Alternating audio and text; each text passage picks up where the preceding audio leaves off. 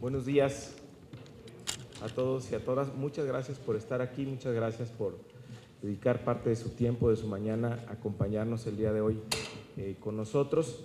Tenemos un taller eh, muy interesante hoy en el Senado, en la Comisión del Distrito eh, Federal y además yo diría muy oportuno. Este seminario lo programamos desde hace algunos meses y ha tenido una feliz coincidencia que ocurre dentro de las semanas donde más debate ha habido eh, sobre la reforma política de la Ciudad de México y donde parece que por fin se ha destrabado este proceso de negociación para hacer posible la reforma de la ciudad.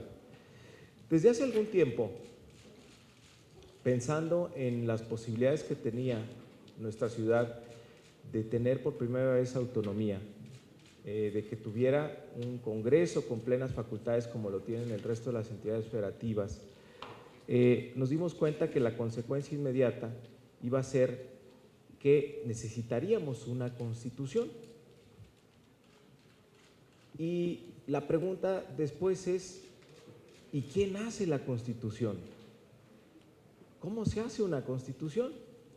Pues ahí están los antecedentes históricos en nuestro país sobre las constituciones que hemos tenido, eh, las constituciones de las, de las entidades federativas, nos pusimos a investigar cómo habían sido los procesos eh, constituyentes, el último antecedente que tenemos en nuestro país, que es la, incorporación a, a, la República de los territorios de Quintana Roo y de Baja California, que pasaron de ser territorios a ser entidades federativas y tuvieron congresos constituyentes a principios de los 70. Pero la reflexión nos llevó más allá.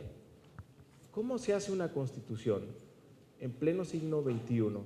en la capital de la República, que siempre ha sido el motor de la democracia de este país, donde está la sociedad más participativa, más informada, mejor comunicada y donde la gran, el, eh, gran capital o el gran valor que tiene esta ciudad, pues además digo, de tener un, eh, históricamente eh, muchas cosas en esta ciudad, con sus iglesias, sus lagos, sus bosques, toda esta riqueza, todo este patrimonio, lo más valioso que tiene es su gente.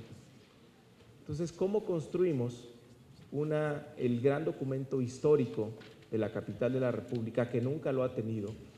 Hemos tenido que esperar cientos de años para que la ciudad tenga una constitución y nos va a tocar a nosotros hacerla.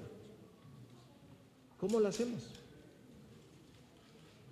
siguiendo un método tradicional, como si fuera una ley más, que se mande un proyecto a la Asamblea Legislativa y los diputados la voten, la discutan. O hacemos, aprovechamos para tener un momento fundacional a la ciudad, que no le caería mal, que provoquemos un diálogo entre los ciudadanos de los distintos temas que nos interesan.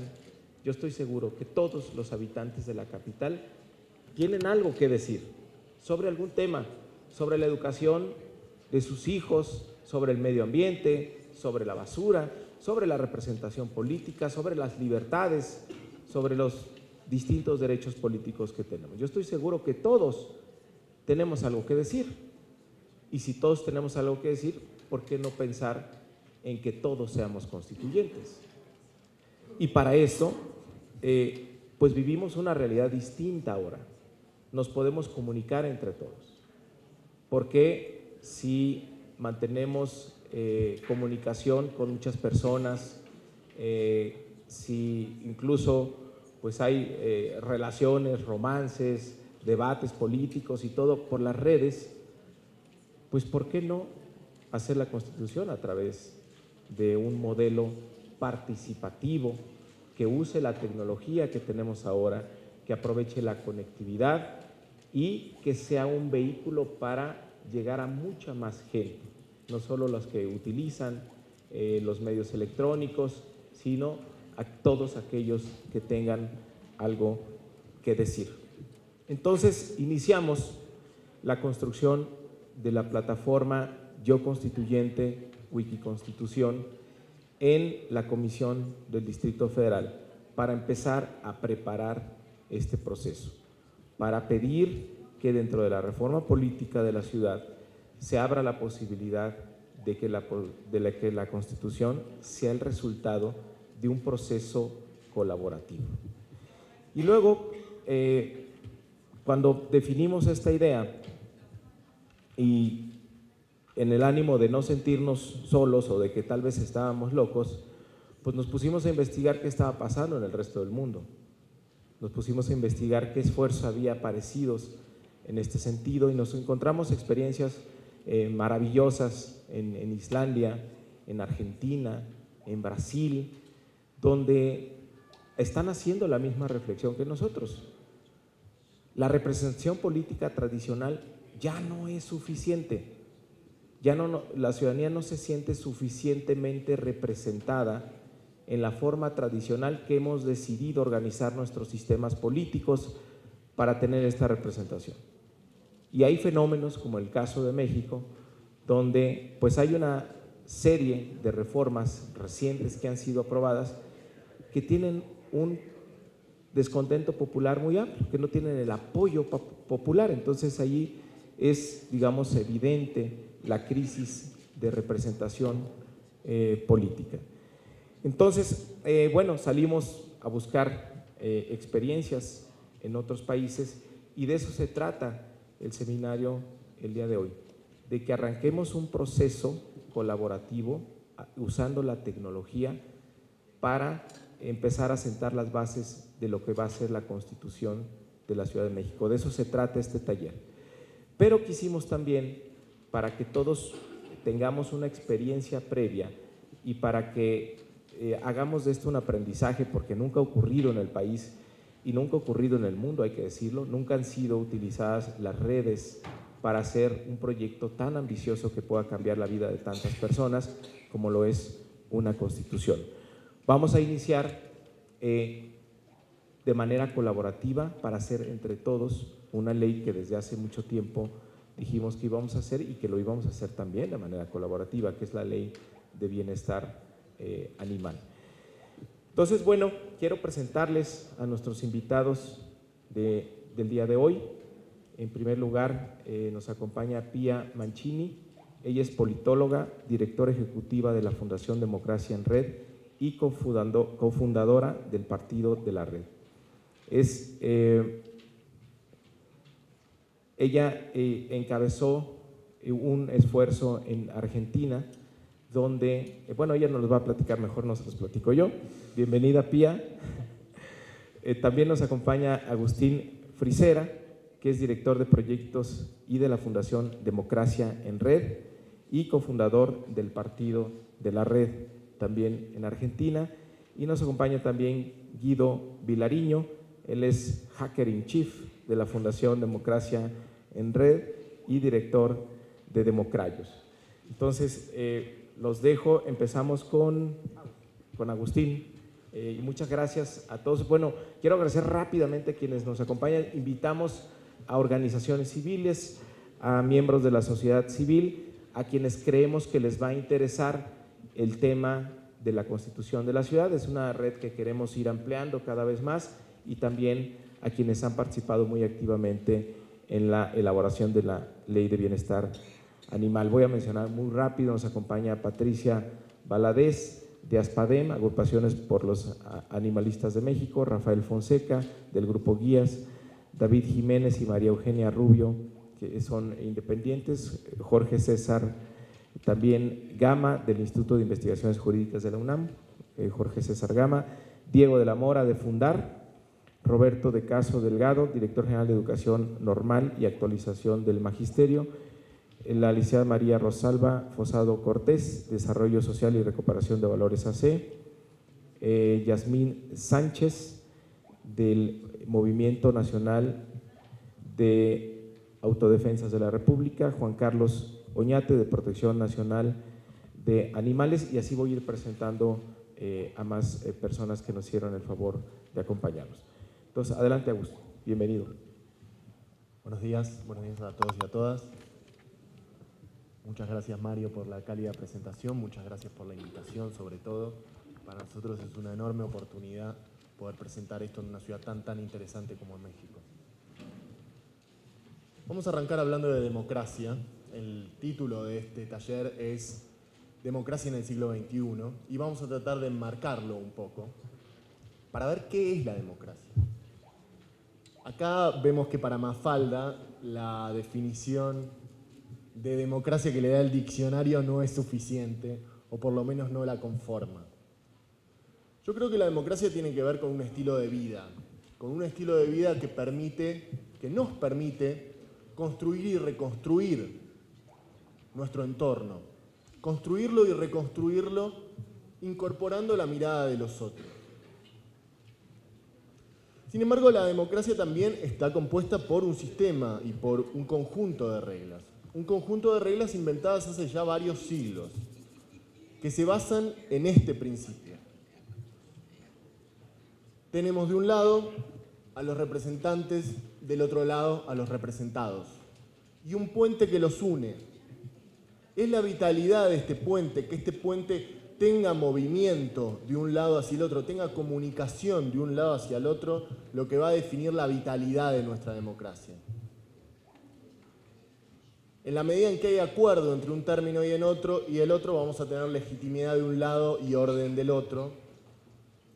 En la medida en que no haya acuerdo, habrá que usar la fuerza y eso provocará efectos del lado de los representados, estrés social, del lado del sistema político el uso del poder. ¿Dónde estamos hoy? El tiempo ha pasado, como decía, el sistema democrático que heredamos tiene más de tres siglos. Y hoy el mundo ha cambiado y es totalmente diferente. Hay nuevas dinámicas en la economía mundial y sobre todo nuevos patrones culturales que nos permiten vincularnos de manera distinta. Hay pluralidad de identidades del lado de los representados. En la sociedad civil somos cada vez más diferentes entre nosotros y eso es una suerte. Y el sistema político ha perdido las riendas y el control del destino político.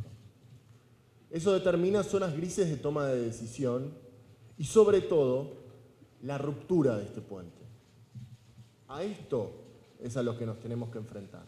A esto es a lo que nos tenemos necesariamente que enfrentar para rescatar a la política como una disciplina que pueda construir beneficios para todos los ciudadanos. Definitivamente tiene muchísimos efectos que este puente no funcione más. Tiene efectos sobre la clase política, tiene efectos sobre los ciudadanos. Los ciudadanos pensamos que no podemos cambiar nada, no podemos ni siquiera formular nuestras demandas de manera clara.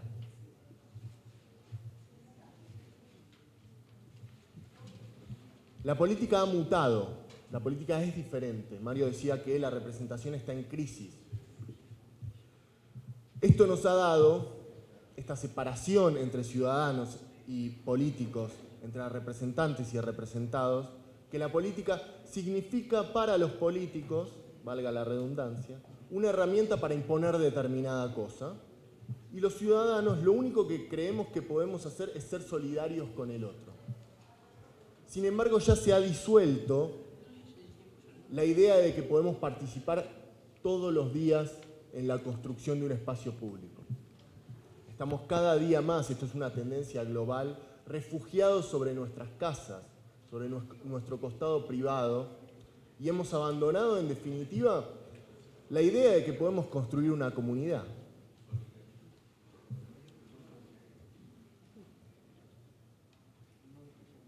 En este sentido y en este marco es donde aparece la participación ciudadana como un valor estratégico.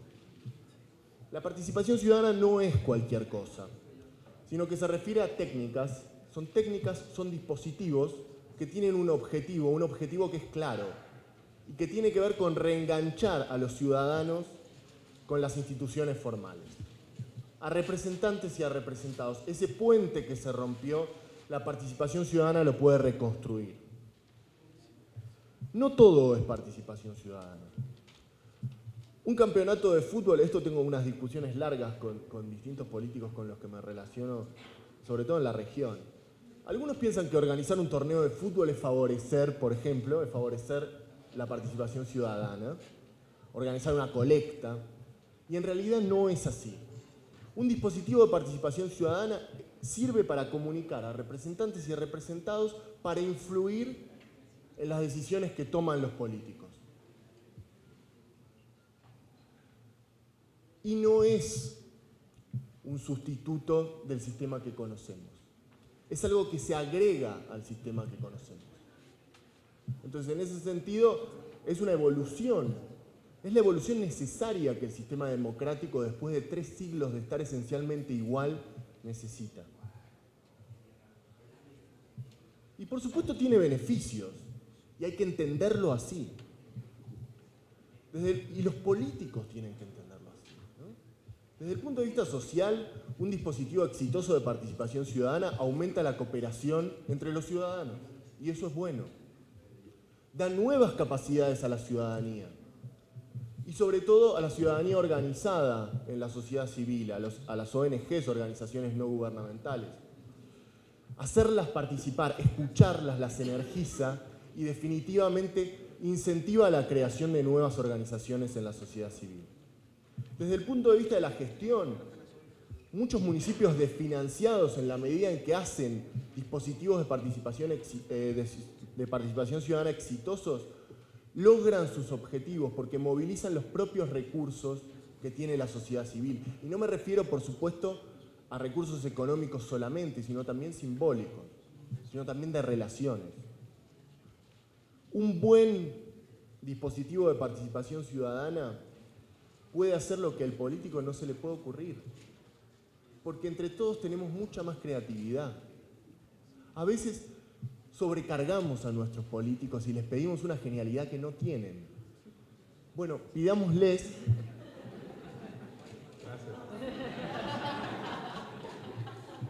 Pidámosles que busquen entre nosotros la genialidad que puede surgir. Nuevos caminos, somos ciudadanos distintos entre nosotros, distintos a lo que éramos hace dos siglos. Tenemos acceso a muchísima más información. En la medida en que participamos todos y nos ponemos de acuerdo, incluso quienes en principio estaban en desacuerdo, logramos conectarnos. Y si vamos hacia un rumbo, ese rumbo se sostiene. Un dispositivo de participación ciudadana logra que una política pública sea posible ayuda a que sea posible. Y desde el punto de vista político, que no es para nada menor, tiene que ver con incrementar la representación democrática. Si somos demócratas, tenemos que escuchar a los que hoy no tienen voz. Si somos demócratas, tenemos que ser transparentes. Si somos demócratas, tenemos que rendir cuentas. Podría ponerme enciclopedista y repasar los 200, los más de 200 casos que he estudiado en la región, en América Latina y en Europa, pero no los voy a aburrir con una catarata de casos que no tienen ningún sentido, sino que les voy a presentar algunas de mis conclusiones. ¿Cómo se diseña un buen dispositivo participativo? Nosotros nos dedicamos al diseño de eh, dispositivos online. Sin embargo, no están aislados de los offline. Nuestra vida, nuestra vida es real, aunque estemos en el ámbito digital o presencialmente como estamos hoy. Y todo tipo de dispositivo participativo debe respetar estos seis criterios. En primer lugar, muy importante, educar. Uno piensa que habitualmente si se participa, si lo convocan a participar, las personas van para imponer un punto de vista. Quiero que pase determinada cosa, voy a ir a participar para lograrlo. Sin embargo, muchísimos estudios y la experiencia demuestran que un alto número de personas lo que en realidad quieren es aprender algo nuevo. Es aprender algo nuevo. Y funciona aún mejor cuando no lo enseña quien está con el micrófono, en este caso quien habla, sino cuando lo pueden aprender en el comentario que están haciendo por ahí atrás, aprender de ustedes mismos. Dispositivo participativo debe educar. Debe estar anclado a la vida cotidiana. Si nosotros nos vamos a las grandes esferas de la gran política, no podremos apropiarnos de un dispositivo que al fin y al cabo está pensado para los ciudadanos. Entonces, es labor de quien lo diseña tratar de establecer relaciones, tratar de explicar qué es lo que va a pasar si se toma la decisión A, qué es lo que va a pasar si se toma la decisión B. Muy importante, si todos los que participamos somos iguales, no tendremos un buen dispositivo participativo. Entonces, distintas clases sociales, distintos tipos de personas, conectándose en reglas pensadas para reducir la simetría de poder. Un dispositivo participativo exitoso es el que logra darle voz a todos, logra que todos se expresen una gran falencia de la clase política. Y yo me siento parte, ¿eh? o sea que también lo puedo hacer como autocrítica, que quizá lo esté haciendo en este momento. Hay que hablar de los aspectos políticos y no de los técnicos. Si vamos a un dispositivo participativo donde nos van a explicar el recorrido de la comisión de presupuesto, no va a ser tan efectivo como si nos convocan a ver cómo gastamos nuestro dinero. La política por sobre la técnica convocar en su justa medida. La variable tiempo, hay que tener en cuenta el tiempo del ciudadano. Si nosotros generamos procesos en donde hay convocatorias, tres convocatorias por semana, lo más probable es que dos semanas después no quede nadie.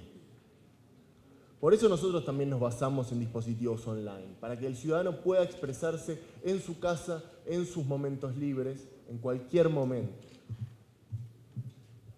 el último y el más difícil, si nosotros no logramos convertir en leyes, legislar sobre los procesos participativos, reducimos su potencia. Esto tiene una enorme complejidad porque muchos de ellos son experimentales, pero tenemos que hacer el gran, gran esfuerzo de poder legislarlos. Después, en tal caso, si tenemos tiempo en el café, les puedo contar lo que estamos haciendo en Ciudad de Buenos Aires para tratar de que nuestro dispositivo online, nuestro dispositivo digital, sea ley en Ciudad de Buenos Aires. ¿Dónde funciona? ¿Sobre qué tema funciona mejor la participación ciudadana? Los cambios en nuestras ciudades. Nosotros vivimos en ciudades, nosotros recorremos nuestras plazas y las conocemos mucho mejor que nadie. Conozco mejor la estación de metro que me trajo hasta aquí, eh, si vivo en la Ciudad de México, por supuesto, que quienes legislan sobre ella. Entonces quienes legislan sobre ella nos tienen que escuchar.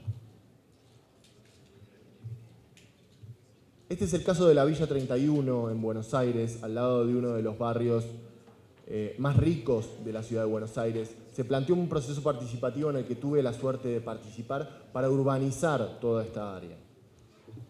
Fue un proceso que comenzó en la ciudad de Buenos Aires, pero que luego desde la legislatura y la Comisión de Vivienda se le dio, gran peso. Empezó en las aulas universitarias, terminó en el barrio, con las personas opinando qué tipo de espacios querían, qué plazas querían, cómo refuncionalizar sobre todo eh, la parte de abajo de la autopista. Llegamos a hermosos planos y procesos que el sistema político descartó. Si el sistema político nos invita a opinar y después no toma en cuenta nuestras opiniones, es lo peor que puede pasar. Porque entonces toda esta retórica de la participación se volverá una farsa protocolar. Y aquellos ciudadanos que participaron y que se esforzaron pusieron muchísimo tiempo para hacer mapas muy complejos, una discusión muy compleja. Estaban muy decepcionados. Los tres rasgos típicos de las farsas protocolares son estos que están listados ahí. No basta un buen diseño participativo. Si no tenemos voluntad política no tenemos casi nada. Lo que puede pasar es que grupos de interés puedan forzar la decisión detrás de escena. Y lo peor que puede pasar es que nuestros políticos desconfíen de las capacidades ciudadanas. Otros grandes eh, dispositivos participativos que funcionan son los que tienen que ver con presupuesto, el presupuesto participativo. No solo tiene que ver con abrir las puertas de la participación a las personas, sino con también habilitar la posibilidad de que, se, de que decidan cómo se gasta el dinero que se recauda en sus impuestos. hacia lo que tenemos que marchar, y con esto voy a concluir, es hacia la ciudadanización de la política. No nos alcanza la politización del ciudadano. El político debe salir a reconstruir el puente, debe salir a buscar al ciudadano para redefinir la política en nuestras sociedades. Y esto significa inventar herramientas, inventar herramientas casi como juegos, herramientas que combinen a los ciudadanos con los representantes, que se desarrollen en espacios públicos, que impliquen deliberación y discusión y no solo votaciones que sean procesos constantes, casi permanentes, que sirvan para legitimar el uso de los recursos públicos y que se autorregulen, que puedan institucionalizarse y definir sus propias reglas. Por supuesto, eh, el proceso es muy ambicioso, por supuesto, en el camino nos equivocaremos muchas veces, por supuesto, requerirá muchos esfuerzos,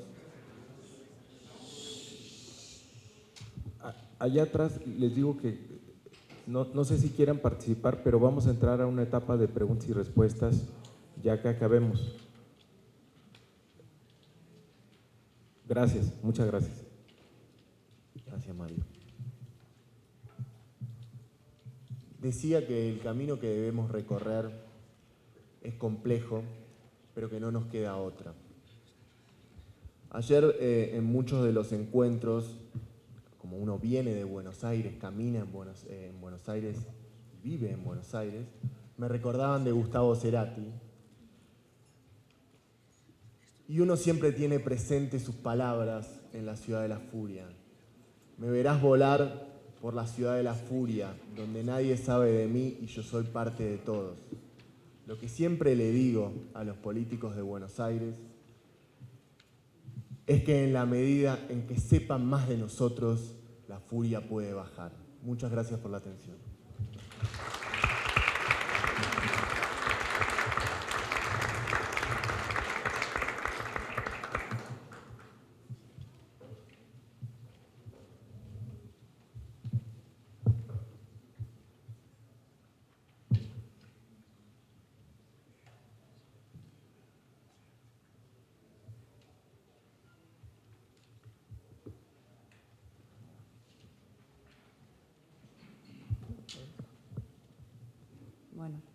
Bueno, buenos días a, todos eh, y a todas. Gracias por, la atención y, por escucharnos y sobre todo a Mario por, la invitación.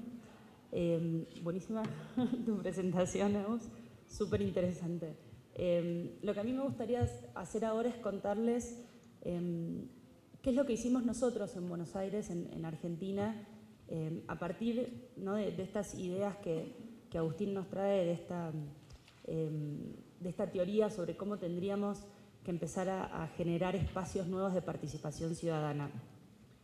Y nosotros cuando con Agus y, Ido y el resto del, equipo empezamos a decir que lo que nosotros queríamos hacer era innovar en donde nadie estaba innovando todavía, en el sistema político, creo que lo más liviano que nos dijeron era que estábamos locos. Pero no era que nos decían que estábamos locos porque queríamos participar en política, sino nos decían que estábamos locos porque a nadie más le importaba. O sea, ¿para qué se van a meter si total la gente no quiere participar? Si a nadie le importa. ¿Para qué se van a, poner la cara ustedes por un proceso político si en el fondo a la gente no le importa nada? Y la verdad es que a nosotros nos molestaba muchísimo esa idea. Em, nosotros no creemos que el ciudadano es naturalmente apático, ¿no? Entonces empezamos a mirar un poco alrededor qué era lo que estaba sucediendo. ¿Por qué de repente como ciudadanos nos habíamos convertido en apáticos, en descreídos de este sistema? Y, la verdad es que lo que estábamos viendo era, era verdad. si ustedes encuentran algún eh, miembro de un partido político, un afiliado de un partido político que tenga 18 años, creo que les podemos dar un premio. Es bastante difícil. Cada vez menos gente participa en elecciones, ¿no? la cantidad de, de, asistencia a votación baja muchísimo. Pero al mismo tiempo, en todos lados nos encontrábamos con esto, manifestaciones en las calles, ¿no? En Brasil, acá en México, en Argentina, en Chile, en España, en Italia, gente protestando en las calles. Son todas democracias. Son todos países en donde nosotros, como ciudadanos de esos países, podemos votar. Pero sin embargo, sentimos la necesidad de salir a tomar la calle para poder expresar nuestras demandas, para poder tratar de que el sistema político nos escuche. Entonces, frente a esto, nosotros nos planteamos si realmente somos apáticos, o en realidad es el sistema que tenemos el que está generando esa apatía, el que está generando este ruido. Bueno, veamos un poco cuáles son las características de este sistema. Es un sistema que está basado en una tecnología de la información que tiene 600 años, en la imprenta. Nuestra democracia representativa, la democracia que tenemos, es un sistema que estaba diseñado para un momento en donde nosotros como ciudadanos no podíamos participar de los espacios en donde se tomaban las decisiones. Vivíamos a kilómetros de distancia por ahí de los centros en donde se tomaban las decisiones. Y sobre todo tampoco teníamos el acceso a la información necesaria para poder participar de esas discusiones. Entonces el mejor diseño que se pudo pensar es un diseño en donde unos pocos toman decisiones en nombre de unos muchos. Y esos muchos participan una vez cada dos, tres, cuatro años. Esa es nuestra única relación con el sistema político. Y entonces, este sistema que se armó, es la democracia representativa como la conocemos hoy, es la misma que tenemos hoy en día. Es el mismo sistema. Pero sin embargo, la sociedad se transformó absolutamente en las manos de las nuevas tecnologías. Ustedes piensen cómo el acceso a la tecnología cambió la manera en que nos comunicamos, cambió la manera en que nos relacionamos unos con otros. Nosotros hoy podemos, tenemos acceso prácticamente irrestricto a cualquier tipo de información. Además, el problema que tenemos es que tenemos una abundancia de información tal que no sabemos cómo organizarla. No sabemos cómo filtrar la, la cantidad de información que nos llega día a día. Nosotros hoy podemos participar remotamente desde nuestros dispositivos, desde nuestras casas, de cualquier conversación global. ¿sí? Incluso podemos, si queremos, estudiar online un curso de una universidad que jamás vamos a conocer. Yo trabajaba con, Sara, que no nos acompaña hoy, que trabaja con el senador, em, hace meses preparando esto y nunca nos vimos la cara. Nos conocimos ayer acá en México. Entonces, mientras nosotros podemos hacer todo eso, ¿No les parece que tiene muy poco sentido que no les podemos decir a nuestro legislador si queremos o no enrejar una plaza? ¿Sí? ¿A qué horario queremos que cierre el subte? ¿Qué queremos hacer con los animales sueltos en la ciudad? No podemos. ¿Por? Porque hay una desincronización tal entre el sistema político y la sociedad que directamente no nos hablamos. Entonces lo que tenemos que hacer es crear esos puentes. ¿sí? Hoy vivimos en un mundo en donde 1.200 millones de personas, la primera pregunta con la cual se encuentran todos los días es, es la de su Facebook. ¿Y vos en qué estás pensando hoy? ¿No? ¿En qué estás pensando? ¿Cuál es tu estado? Todo el tiempo nos preguntan sobre nosotros, sobre nuestras expectativas, sobre nuestras demandas, sobre nuestras frustraciones, sobre nuestras ganas. Todos, menos el sistema político que el sistema político insiste en consultarnos una vez cada dos o tres años. Para el sistema político nosotros somos únicamente receptores pasivos de un monólogo, pero socialmente vivimos inmersos en conversaciones que son de muchos a muchos. Entonces me parece que tiene sentido que este sistema solamente produzca ruido o produzca silencio, porque no es capaz, no está siendo capaz de producir nada más. A mí hay un, Em, nosotros trabajamos mucho con dispositivos de participación online.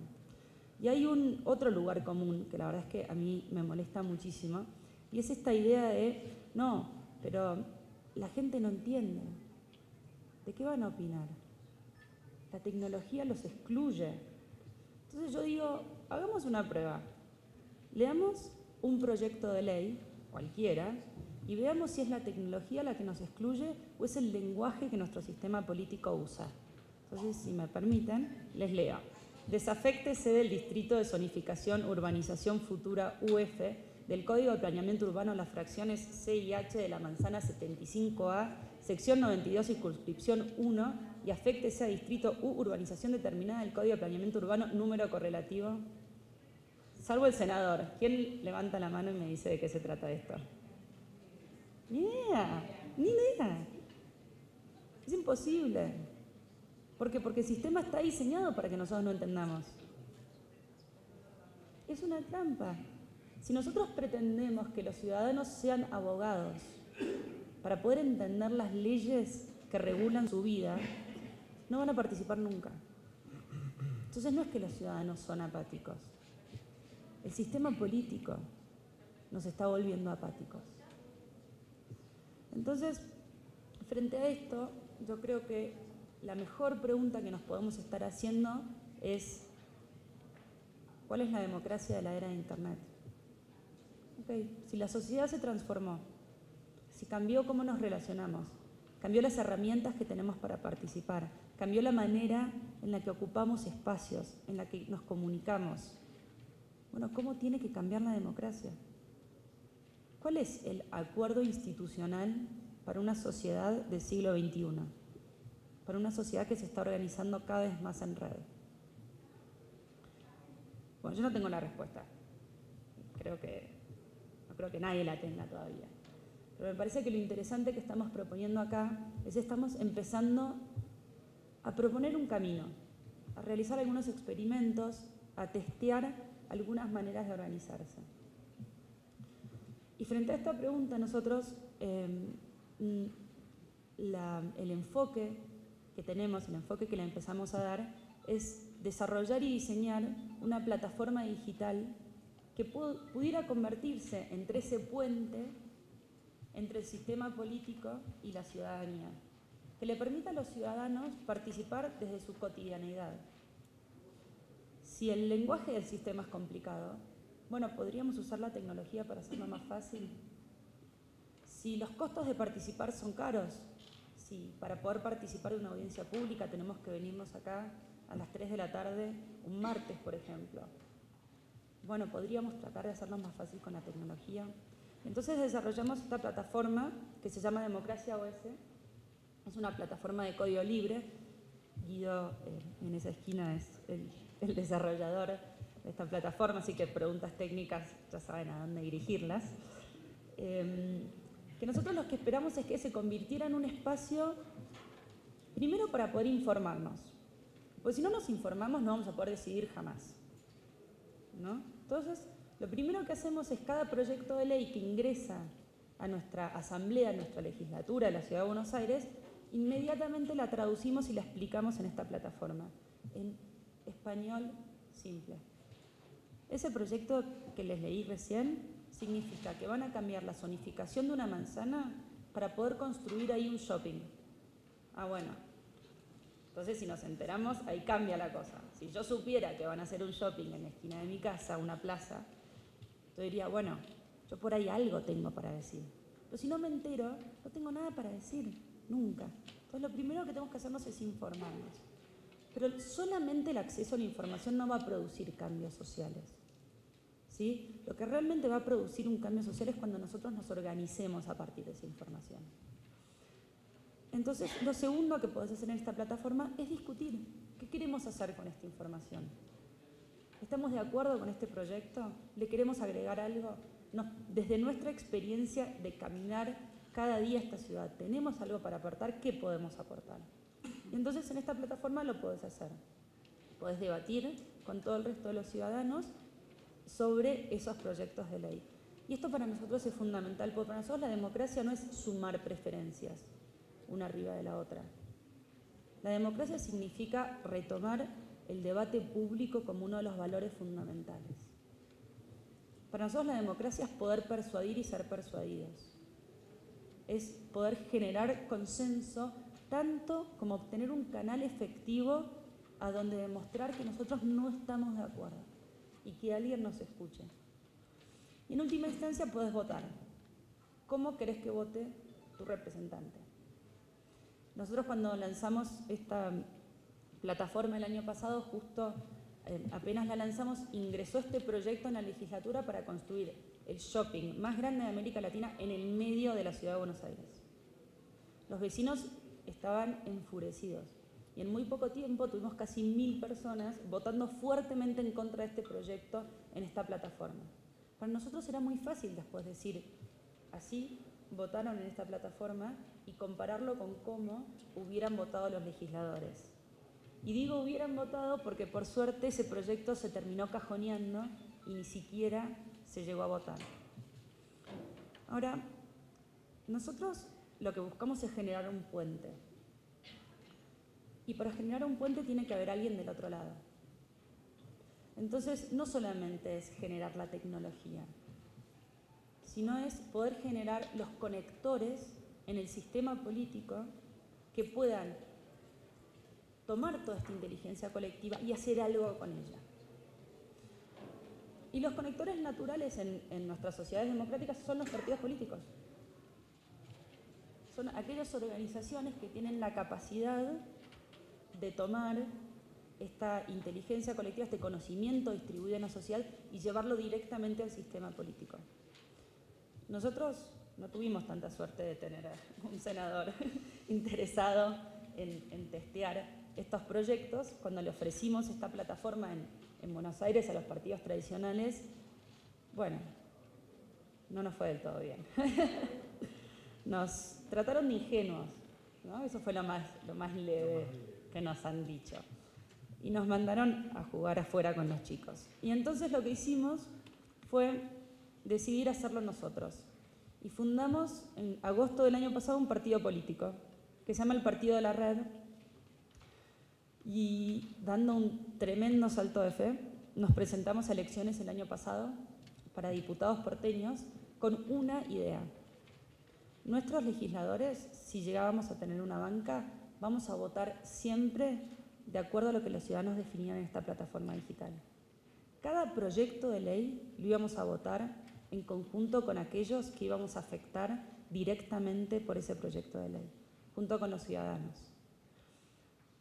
Bueno, fue una movida bastante disruptiva e innovadora. Em, y la verdad es que para un partido que tenía dos meses de vida, dos meses de vida, nos fue súper bien. Sacamos el 1,2% de los votos, son 22.000 votos, que es muchísimas voluntades en la ciudad de Buenos Aires. Y si bien no nos alcanzó para obtener una banca, sí pudimos ser parte de la conversación. Y nos sentamos en la mesa a discutir con nuestros representantes sobre cómo íbamos a hacer para abrir nuevos espacios de participación ciudadana. Y eso lo logramos solamente porque nosotros entendimos que teníamos que jugar con las reglas del juego y teníamos que hacer nosotros ese camino, de armar un partido político y presentarnos elecciones. Y hace muy poquito firmamos con el Congreso un proyecto para que se discutan en nuestra plataforma, para que el Congreso discuta institucionalmente en esta plataforma tres proyectos de ley. Dos leyes sobre espacio público y una sobre transporte urbano. Ahora, claramente nuestros representantes no están diciendo, bueno, sí, nosotros votamos de acuerdo a lo que la ciudadanía quiera, pero sí están diciendo, me parece que tenemos que empezar a entender cómo hacemos para traer nuestra democracia al siglo XXI ¿Cómo hacemos para abrir nuevos espacios de participación que tengan realmente impacto en el sistema político? Em, y entonces, buscando otros conectores en otros países del mundo, fue que empezamos a trabajar con Mario esta idea de cómo hacíamos para pensar acá, en la Ciudad de México, un espacio de participación real y concreto para toda la ciudadanía en el proceso por ahí el documento más importante para una ciudad, que es su constitución. Así que mm, encantada de estar acá, encarando este proceso y, mm, y, bueno, yo con esto, con esto quería cerrar y decirles que sí, que probablemente estemos locos, pero mm, como dice el físico danés Niels Bohr, estamos todos de acuerdo que nuestra teoría es una locura. Pero la opinión que nos divide aún es si es lo suficientemente loca como para ser correcta. Y eso creo que es lo que estamos tratando de ver hoy. Muchas gracias.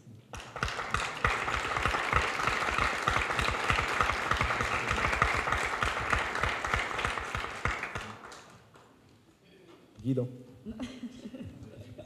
No, no, creo que seguimos. O sea, que, seguimos con, eh, con las prioridades. Si querés contar. Ok. Bueno, eh, muchas gracias y muchas felicidades a Agustín y a Pía eh, por la presentación que nos han dado. Yo creo que nunca se ha analizado la evolución de los sistemas políticos a partir de las posibilidades de participación que da la información. Me parece que es un punto de vista muy novedoso de poner en cuestionamiento los modelos de representación política a partir de las posibilidades reales de intercambio de información y, de, participación. Eh, bueno, vamos a, este, vamos a hacer una eh, dinámica eh, muy rápida para empezar a pensar de manera conjunta qué temas debería abordar una constitución en la Ciudad de México y para tener, digamos, como un gran menú que nos permita ir desarrollando temas. Y lo que vamos a hacer a partir eh, de ahora es que vamos a ir buscando a los distintos grupos en la sociedad civil que tienen alguna agenda en específica, porque la idea es que redactemos entre todos, que tengamos foros para ir redactando todos y cada uno de los artículos de la Constitución que queremos en, las, para nuestra ciudad. Entonces, bueno, hoy vamos a hacer un ejercicio muy rápido de cuáles son las prioridades, cuáles deberían ser las prioridades para empezar a subir eh, material en esta eh, plataforma de Yo Constituyente, Wikiconstitución, y entonces podamos empezar a tener eh, un diálogo. También déjenme decirles que la segunda parte de este taller vamos a hacer ya un ejercicio práctico que está eh, montado en la plataforma de eh, democracia en red, esta alianza que tenemos con esta fundación. Ya ellos nos hicieron el favor de prestarnos su tecnología para montar en esta tecnología la ley de protección animal y que a partir de la semana que entra liberemos este sitio y se empiece a recibir de manera colaborativa eh, opiniones sobre la ley. Pero esa es la segunda parte eh, del taller. Eh, pero antes de que empecemos el, ejercicio sobre la constitución de la ciudad, quisiera ver si, alguien tiene alguna pregunta o quisiera decir algo respecto a las participaciones que hemos tenido de Agustín y de Pía. No sé si hay preguntas, levanten su mano.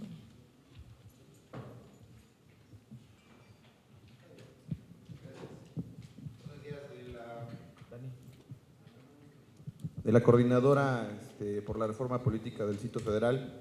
Buenos días a todos los presentes, buenos días, senador. Este, una pregunta, una duda que me surge es, en lo particular me interesa mucho el tema de la participación en, con nuevas tecnologías, pero em, voy a resumir mi, mi cuestionamiento en lo siguiente, en los siguientes dos conceptos. Ágora y Liquid Feedback. para los que no lo conozcan, por ejemplo, el Liquid Feedback y el Agora son dos eh, plataformas que están funcionando ya desde hace rato en el resto del mundo. El Liquid Feedback le dio dos eh, diputados al Partido Pirata en Europa, en la Unión Europea. Es una no se ha logrado echar a andar en México. Tal vez el esfuerzo pudiera ser por ahí también, digo, uh, sumar lo más posible porque tiene participaciones de todos lados. La segunda es el Ágora, que funciona muy bien en, países de habla hispana, España, en Argentina, eh, Colombia, eh, varios más países. En eso se resumiría un poco. Este, ¿Cuál es la diferencia de la plataforma con respecto a Ágora y a Liquid Feedback? Gracias. Bueno, gracias por tu eh, pregunta.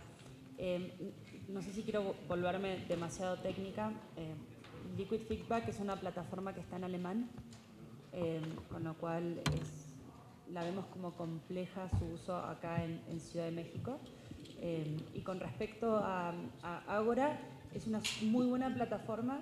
Lo que nosotros creemos es que los desafíos que nosotros tenemos por delante no son técnicos, no son tecnológicos, sino que son culturales. Lo que nosotros tratamos de hacer es hacer, proponer el proceso más fácil y más intuitivo para poder participar. Creo que tenemos que romper con una historia de, de poca participación cívica, de pocos espacios. Vivimos escuchando que no podemos participar, vivimos escuchando que la gente no sabe, que no puede opinar. Entonces lo que nosotros tratamos de hacer es de romper con años de eso, creando una manera muy, muy fácil, intuitiva y muy simple para que la mayor cantidad de gente posible pueda participar. Aquellos con conocimiento técnico y aquellos sin conocimiento técnico.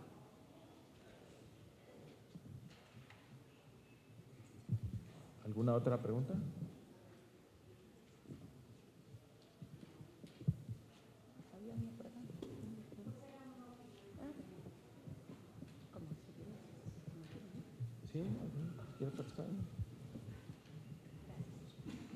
Bueno, pues felicitarlos realmente porque es muy difícil trabajar en esto de las políticas públicas. Yo he estado inmersa en esto más de 10 años y llegué totalmente a la apatía, ¿no? De decir, ¿para qué voy? Si mi voz realmente no es escuchada y finalmente los políticos deciden ellos mismos lo que más les beneficia, ¿no? Entonces realmente los felicito porque yo entro con ustedes dentro de su locura. Creo que es una buena propuesta. Creo que somos muchos. Sí, sí, sí, el senador Mario tiene muy buenas propuestas nuevas que realmente eh, estamos en participación ciudadana. Pues muchísimas gracias y, y nos unimos. Genial. Cuando los locos seamos muchos, los locos serán nosotros. ¿Alguien más?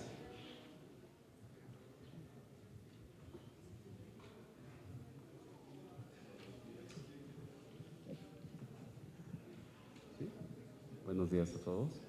¿Cuál es la experiencia en el ámbito o el antecedente jurídico que tuvieron ustedes que navegar para llegar a, los votos que llegaron? Esto es muy interesante.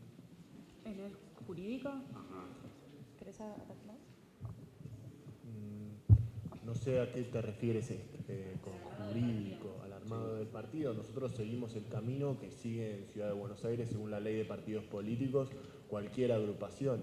Es decir, tuvimos que conseguir eh, para Ciudad de Buenos Aires 4.000 voluntades que nos permitan constituirnos como tales y después tuvimos que hacer todas las presentaciones frente a la justicia electoral. Y ahora estamos buscando 4.000 más. Eh, todo con eh, una tecnología ya pasada, ¿no? Todo con fichas por triplicado, manuales, etcétera. Bueno, nuestra idea, eh, a partir de lo novedosa que es, eh, ha tenido muchísima difusión en Ciudad de Buenos Aires. Creemos que vamos a conseguir el objetivo de estas 4.000 voluntades y nos constituiremos formalmente como un partido como cualquier otro. Y si eh, te referís al aspecto que a veces se confunde con democracia directa, nosotros no proponemos democracia directa, nosotros proponemos un nuevo tipo de relación entre representantes y representados, y en este caso el representante del partido de la red usaría sus facultades jurídicas para poder presentar en este caso eh, el proyecto que los ciudadanos quieran, respetando el pacto electoral con los ciudadanos. Entonces, usaría, y no me quiero poner yo técnico jurídico, usaría su iniciativa, cedería su iniciativa parlamentaria a los ciudadanos y después usaría sus prerrogativas para representarlos.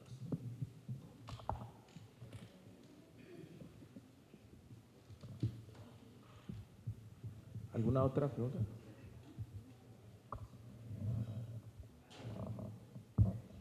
Gracias. Buenos días, Mario, una vez más, muchas gracias. soy Juan Carlos Cañete, director de Protector Nacional de Animales, y recientemente, de hecho septiembre del año pasado, gracias justamente al apoyo de Mario, logramos sumar a 100 organizaciones civiles en todo el país de protección a los animales, cosa que fue de verdad realmente difícil. Y justamente parte de lo que describen en su presentación fue lo que nos sucedió. Nos reunimos una vez, convocamos, vino gente de todo el país, la segunda vez vino menos gente, y llega un momento en donde la gente dice, pues yo no puedo estar yendo a la Ciudad de México a cada rato, ¿no? Entonces mi pregunta va en, ese sentido doble. Una es, ¿qué sigue después? No? ahorita yo imagino que durante un, un, inicio será algo offline, ¿no? un trabajo offline, y después estará esto arriba. ¿Qué sigue después? Es decir, ¿qué métodos de, vinculación y de, ahora sí que de convivencia real y, efectiva entre organizaciones o entre, miembros eh, tienen concebido, tienen proyectado o ya ejercen ahorita actualmente en su, en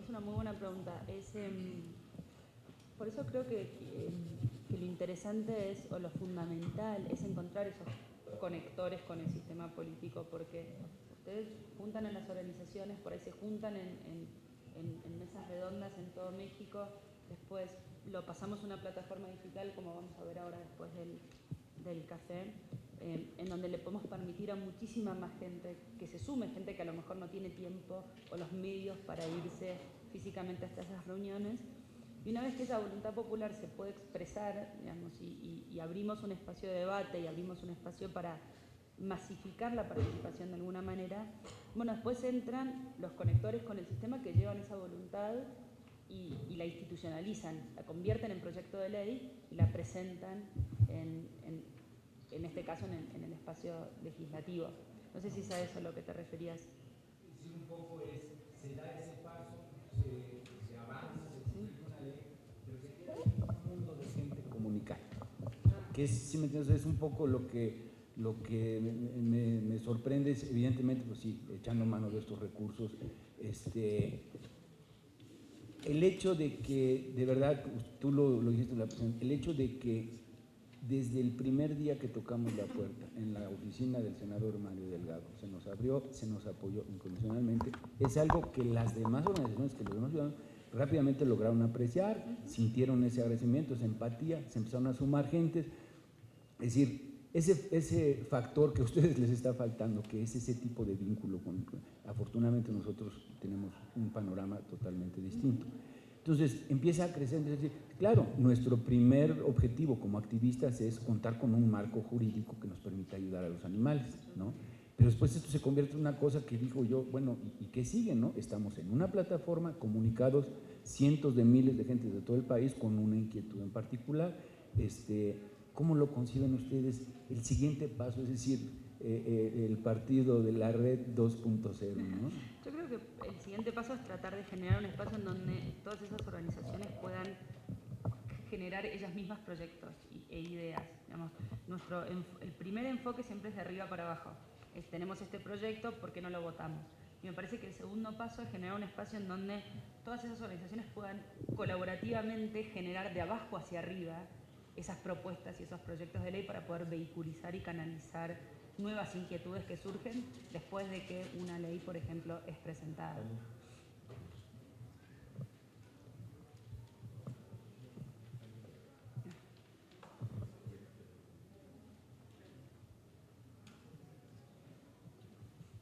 Adelante. Eh, sí, es lo que, como le respondiste, es lo que yo pensé. Bueno, eh, la plataforma ya existe, ya está configurado, ya hay em, un, marco, digamos. Entonces, lo que corresponde, lo que sigue es que nosotros como participantes de abajo, digamos, la, parte receptiva, nosotros nos tenemos que mantener ubicados, informados y actuantes. Ahorita vamos a poder eh, trabajar sobre un objetivo se saca ese objetivo o se le sigue dando seguimiento y se puede participar en otros aspectos. La dinámica va a ser eso, dinámica, en una oportunidad, en un objetivo, en otro objetivo. Y además el cambio de la herramienta escala en términos de números. Por ejemplo, el caso de una, una iniciativa popular en Buenos Aires, uno tiene que juntar 40.000 firmas físicas. O sea, eh, uno tiene determinada capacidad, las organizaciones de la sociedad civil no suelen tener un amplio despliegue en el territorio, entonces se arman mesas en esquinas que pueden conseguir una determinada cantidad de firmas con un enorme esfuerzo. Bueno, aprovechemos la amplificación de las nuevas tecnologías. Entonces, si dicen el tema del bienestar y la protección de los animales no le interesa a tanta gente, bueno, ahí tienen ustedes la red para demostrar que son un montón. Y si demuestran que son un montón, seguramente la clase política que en principio resiste a tomar este tipo de iniciativas verá que hay mucha gente por detrás y lo que suele pasar cuando hay mucha gente por detrás de algo es que la clase política, por su propia conveniencia, abraza ese objetivo. Yo quisiera agregar algo. Eh, me parece que hay dos, dos, este, dos momentos. Una, que, eh, digamos, hagamos un proyecto común, alguna idea en torno a, eh, por ejemplo, la que nos agrupó en torno al tema de los, de los animales, que en una primera instancia fue tratar de evitar el impuesto que se puso el, año pasado. Eh, pero justamente viendo esa eh, convocatoria que se había logrado, esa vinculación de muchas organizaciones y muchas personas a lo largo del país, dijimos, bueno, lo que sigue es pues plantearnos algo más ambicioso que solo un, una, eh, una, algo coyuntural, sino vamos a algo mucho más importante que es deseable con una ley de bienestar animal. Pero y esto, bueno, lo vamos a lograr. Vamos a lograr de manera colaborativa hacer una ley que todos nos sintamos cómodos con, con el proyecto, pero después viene la parte de la influencia política. Y ahí recupero algo que decía Pía, pues no basta la tecnología, porque pues va a estar ahí eh, la plataforma y además va a tener un contenido muy bueno. El resto tiene que ser un esfuerzo para que si hicimos entre todos el proyecto, tengamos la responsabilidad de que nuestras organizaciones se activen y sí tengan, se vuelvan visibles, para que entonces la clase política perciba que ahí hay un, nicho de gente interesada en este tema y que además hay una ley, entonces que sería muy rentable políticamente que se abriera como parte de la agenda. Pero esa posibilidad de influencia tiene que ver mucho con detonar la, participación. Entonces, digamos, el, aprendizaje aquí es que logremos tener una comunicación efectiva.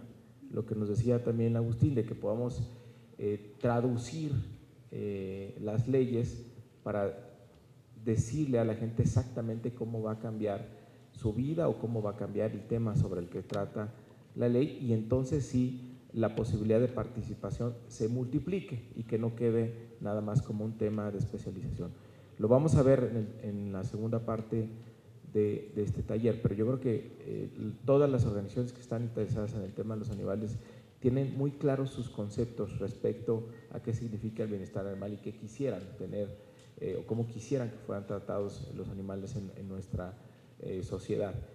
¿Cómo lo representamos ya en la ley? Bueno, esa será tarea de los abogados, pero la discusión no tiene por qué ser en los términos eh, de un lenguaje como el que nos acaba de demostrar eh, Pía, sino puede ser en el lenguaje que nosotros usamos para definir nuestros conceptos y valores respecto al tema de, los animales.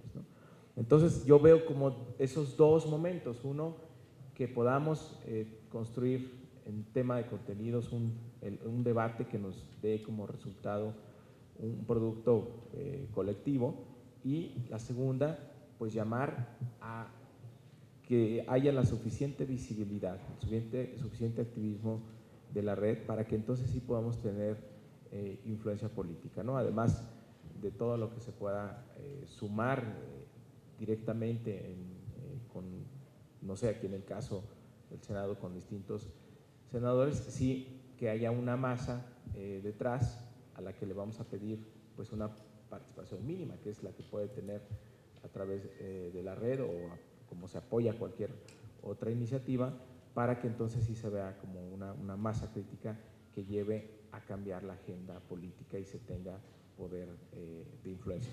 Ha ocurrido en, otros casos, ¿no? Acaba, eh, hace poco, como se comentaba, comentaba yo con un diputado que es muy joven, Giorgio Jackson, el, chileno, eh, que es, fue uno de los líderes de todos estos movimientos estudiantiles que hubo en Chile hace un par de años, un muy joven. Eh, una de las estructuras de, más sólidas del sistema político chileno es el tema de la financiación. Y nunca los partidos por su propia conveniencia, pues nunca hablaban del tema eh, de la financiación. Entonces yo, yo digo, bueno, si queremos transparencia, si queremos que el sistema político sea más eh, saludable, por decirlo de alguna manera, pues tenemos, tiene que haber transparencia en el tema de la financiación. Entonces, por supuesto que de la política tradicional no puede venir ese tipo de iniciativas. Y él es un diputado. ¿Por qué se pudo meter dentro de la agenda eh, del Congreso en Chile? Pues fue porque logró articular detrás de él una masa muy importante a través de las redes que dijeron sí, sí queremos que ese tema se discuta. Ya sabemos que no les conviene a los partidos políticos tradicionales, pero sí queremos que ese tema se discuta. Y el poder de las redes logró meterse a la agenda directa en Chile. Entonces, esa es, esa es nuestra, nuestra, nuestra aspiración, es, digamos, lo que queremos iniciar aquí. A ver, ¿la ley de bienestar animal está dentro de la agenda del Senado? Pues no está, no lo está. Y es un tema no nuevo, ¿eh? lleva muchísimos años y hay proyectos de iniciativas que llevan muchos años y ha habido mucha organización al respecto, pero no cambia. Entonces, el reto nuestro es primero que nos pongamos de acuerdo en qué queremos y segundo, organicemos a nuestras gentes, que logremos entusiasmar a muchas personas para así lograr un poder real en la agenda y que sí eh, se ponga por fin aquí en el Senado como uno de los temas eh, prioritarios.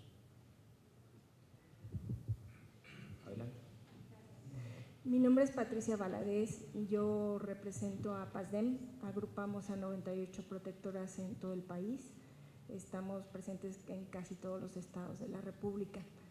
Y en, nuestro, en nuestra opinión, eh, este tema de bienestar y, y de protección animal, si ustedes se han sentido como locos, nosotros desafortunadamente nos hemos sentido poco menos que insignificantes. Las autoridades ha sido muy difícil establecer un vínculo con ellas, este, que se nos logre escuchar lo que queremos ha sido sumamente difícil. El puente legislativo absolutamente es fundamental, es una pieza clave para, para construir lo que sí queremos es una política pública o sea, porque un marco legal nos parece fantástico, fenomenal, ¿no? Este, pero si no construimos la política pública completa, esto no va a funcionar. O sea, mover a la administración pública a partir de tener un marco jurídico ya establecido es todavía un reto, yo diría, mucho mayor. Me atrevo a decir que el primer pasito es tener esa, esa ley de bienestar animal, me parece muy bien. Este, Afortunadamente tenemos la, colaboración y el puente, genial. Pero ¿y ahora cómo vamos a hacer que, la administración pública, el gran elefante, se mueva para articular todas esas, esas medidas que necesitamos? Y que en México, en el caso tremendo que tenemos, este, ya, es, ya es una bola de nieve que ya no tiene control. Se están matando más de 700 mil perros y gatos cada año en los centros antirrábicos. Esas son cifras del Sistema de Información de Salud. Tan solo en la Ciudad de México son 120 mil los que se están matando. ¿eh? Este, y, las fábricas de animales continúan sin control, no hay regulación. Y me parece muy bien, va a haber una regulación. Pero si la administración pública no tiene ese poder coercitivo para hacer funcionar la ley, todo esto se va a quedar en letra muerta. Y por más que nos vayamos a las calles y alcemos la voz y, gritemos que esto ya es un problema de salud pública que está afectando a los ciudadanos, no solo en, su integridad eh, eh, física, sino también eh, emocional, yo diría, porque, porque ya los, el tema de crueldad y violencia en México ya se ha desbordado totalmente. Estamos viendo casos terribles ante la inmovilidad de las autoridades. Entonces, con esta fuerza del Senado, a mí me parece una iniciativa maravillosa, pero que tiene que mover a las máximas autoridades de salud y de agricultura para que esto ya pare de una vez por todas. Gracias. Ahí, ahí te diría, no va a ser, o sea, no hay forma de que ocurra la política pública si no hay un instrumento jurídico que lo obligue. Entonces, por, por eso es, a veces, eh, y, y bueno, y estoy yo completamente de acuerdo, una ley no es la varita mágica, pero sí es el principio para poder cambiar la política pública. Vamos a dos preguntas más. Adelante. Va primero.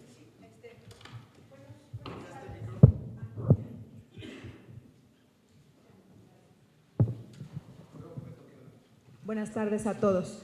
Yo realmente estoy muy involucrada, este, algunas personas aquí me conocen como activista independiente. Mi formación más bien ha sido de eh, trabajar mucho tiempo en la banca de desarrollo, en muchos temas, sé, soy, sé un poquito de todo, ¿no?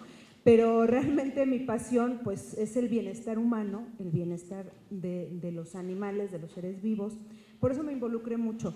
Creo que estuve, tuve la oportunidad también de ser invitada a la revisión del diputado Anaya de la ley que se pretendía para el DF, las reformas para el DF, y he podido observar que definitivamente en el caso del medio animalista hay muchísimo activismo, realmente es muchísimo más el activismo que en otros medios. Aquí la cuestión realmente es que este ha sido precisamente un tema ejemplo de la necesidad urgente del Estado como regulador porque realmente hay muchos esfuerzos de todo tipo, a todos niveles socioculturales, económicos, eh, de, todo tipo de formación, de estados, municipios. Eh, puedes ver gente indígena que protege, cuida a sus animales como lo hace con sus niños. Y podemos ver el tema del bullying en, segmentos, hablo de bullying de niños y bullying de animales, ¿no? segmentos realmente culturales altos, culturales y económicos altos y la verdad es que la necesidad es urgente del Estado federal como regulador y homologador. Felicito realmente al senador por esta iniciativa, porque creo que magistralmente logró articular y homologar y conciliar intereses de todos los segmentos involucrados. Creo que llegó eh, a aterrizar perfectamente el vínculo que tenemos todos, económico, social, psicológico, de salud, eh, a nivel nacional e internacional. Creo que el 30% de merma de, carne o de ganado que habla de que México realmente está muy mal en cuestión de salud este, en cuanto a, consumo, ¿no? Pero hay un tema que creo que es importantísimo, que eh, creo que el senador y, el Senado está precisamente en el límite entre ser más coercitivo en la parte penal que en la parte administrativa. Tenemos ya esfuerzos y penas muy fuertes, por ejemplo en el DF, de dos a seis años de cárcel, y tenemos estados que ni siquiera lo han incluido en el Código Civil, ¿no? por ejemplo. ¿no? Creo que eh, precisamente el Senado atinadamente tendría que eh, traer a todos los rezagados que están en los estados y los municipios que no han regulado nada con respecto a los que ya tienen algo. ¿no? La participación en redes creo que es muy buen ejemplo del sector animalista. Realmente se han logrado cosas muy, muy importantes más que en otros segmentos. ¿no? Entonces, creo que eh, es un trabajo excelente desde el punto de vista de muchas, muchas personas pero creo que faltaría en esta etapa inicial ser un poquito más coercitivos para poder implementar la parte de educación y cultura, que es muy importante. Gracias. Muy bien.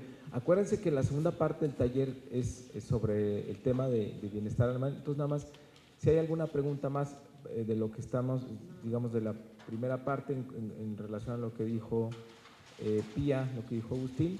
Si no, pasamos, le quiero, les quiero presentar a Luisa Conesa, ella es una abogada eh, muy eh, prestigiada en nuestro país, muy joven además, eh, que bueno, nos va a hablar un poco de, qué un primer, digamos, acercamiento sobre las prioridades de la Constitución del Distrito Federal. Hola, ¿qué tal? Buenos días. Mucho, mucho gusto conocerlos a todos. El tema, el tema de, la, de la Constitución es, es, un tema verdaderamente interesante que y que nos debe de tocar a todos, porque la pregunta es, ¿por qué tenemos una constitución y por qué, por qué queremos derechos constitucionales? O sea, ¿por qué no basta que estén los derechos en las leyes? Esta es como la primera pregunta que, que le hacemos a los alumnos de, de Derecho Constitucional en las universidades. ¿Por qué una constitución?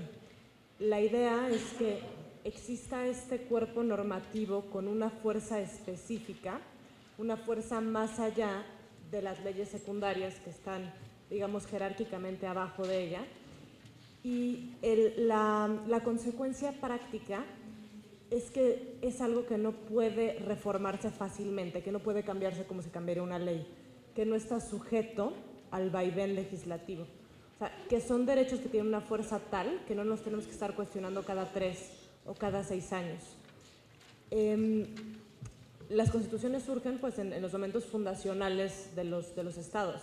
En este caso, pues tenemos un ejercicio que ya eh, existe la, Ciudad de México, bueno, existe el Distrito Federal y ahora se va a fundar como la Ciudad de México.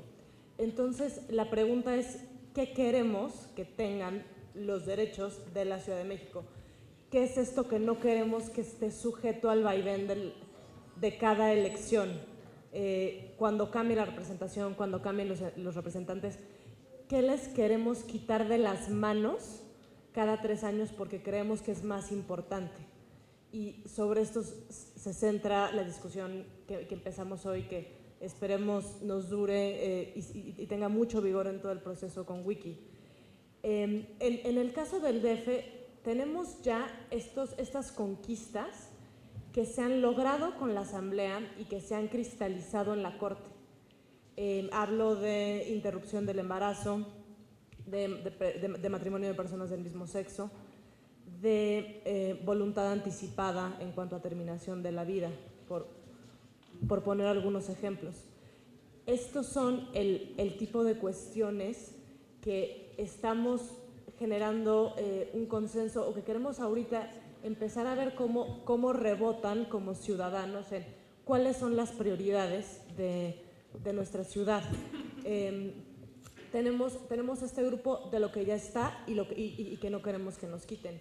Y no, y no es una cuestión menor, porque en, en, el caso de aborto, lo que pasó en el resto de los estados de la República, en 17 estados, fue que cuando la Corte reconoció que el DF sí podía hacerlo, las demás legislaturas pusieron en sus constituciones que no se podía. Y cuando eso llegó a la Corte no se alcanzó una mayoría para, darle la vuelta. Entonces, mientras que aquí tenemos reconocido por la Corte, por el final del día en una ley que se puede interrumpir el embarazo, en otros estados, 17 de la República, el constituyente local dijo, no, aquí no se puede.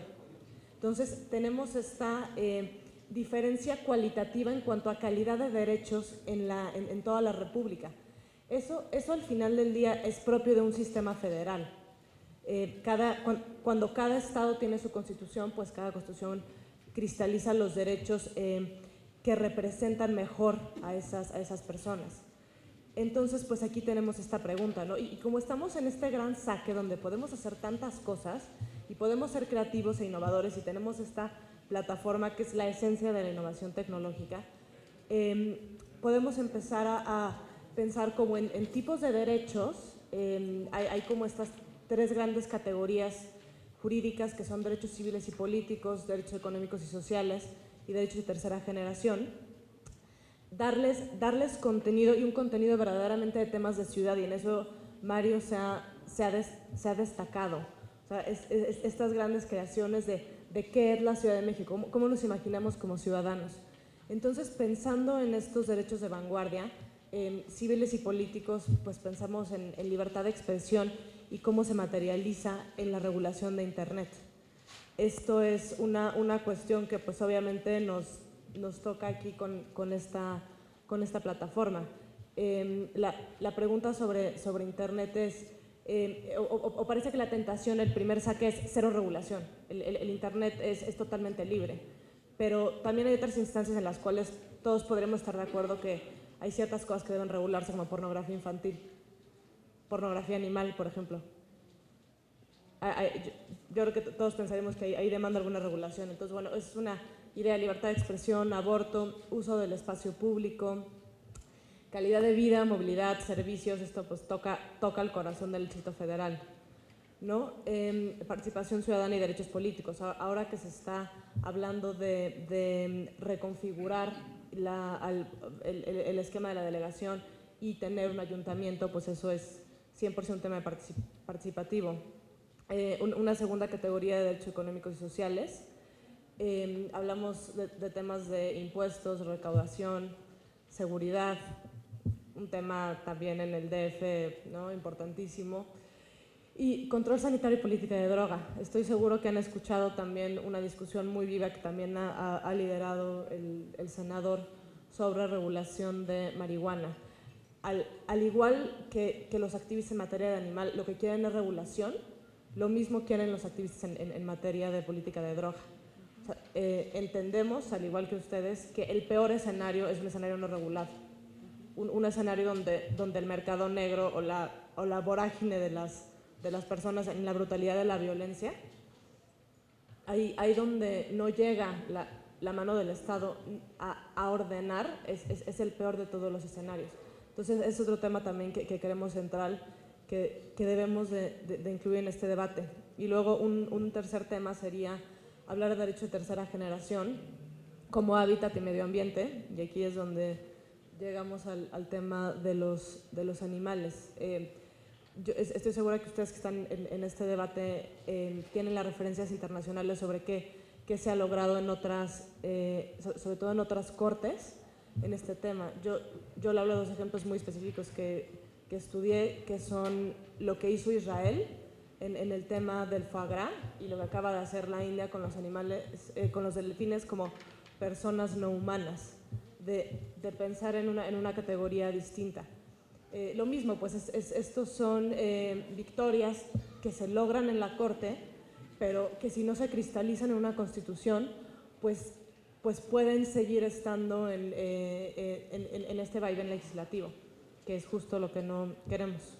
Entonces, bueno, pues tenemos como estos tres tipos de derechos y, nos gustaría abrir la mesa para escuchar eh, básicamente prioridades, ¿Qué, es lo que ustedes, o sea, al, margen del tema animal, que sin duda es lo que va a ocupar nuestra segunda parte, qué es lo que estiman más valioso. Gracias.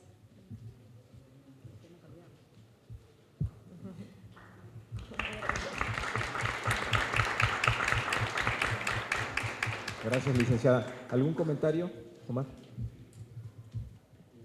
Creo que uno de los temas que más nos ha preocupado es, ante todo, la escasez de recursos que tanto el sector privado, el sector público, la agenda social, tienen siempre dificultad para echar a andar las cosas. Y el presupuesto de la ciudad, al ser uno de los presupuestos más importantes del país por su volumen, creo que debería transformarse en un, eh, en este esquema de derechos de tercera generación, en un presupuesto verde, sustentable. Creo que deberíamos dar ese salto cualitativo. Siempre estamos discutiendo sobre la necesidad, insisto, de los recursos y si los utilizamos bien creo que lograríamos nuestras finalidades, pero desafortunadamente hemos tenido experiencias, no lo digo por la Ciudad de México, sino en general por el ejercicio del gasto, que normalmente no es muy productivo, que digamos. Entonces creo que como ciudadano del Distrito Federal me interesaría mucho hablar de un presupuesto verde. Muy bien.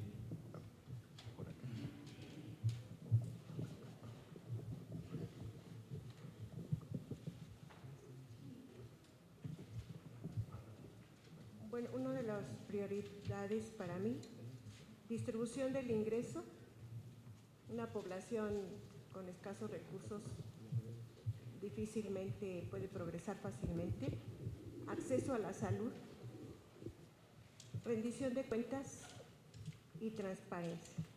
Estas últimas dos, para que tengamos un, un gobiernos que verdaderamente tengamos los recursos utilizándose para lo que en teoría deben de ser.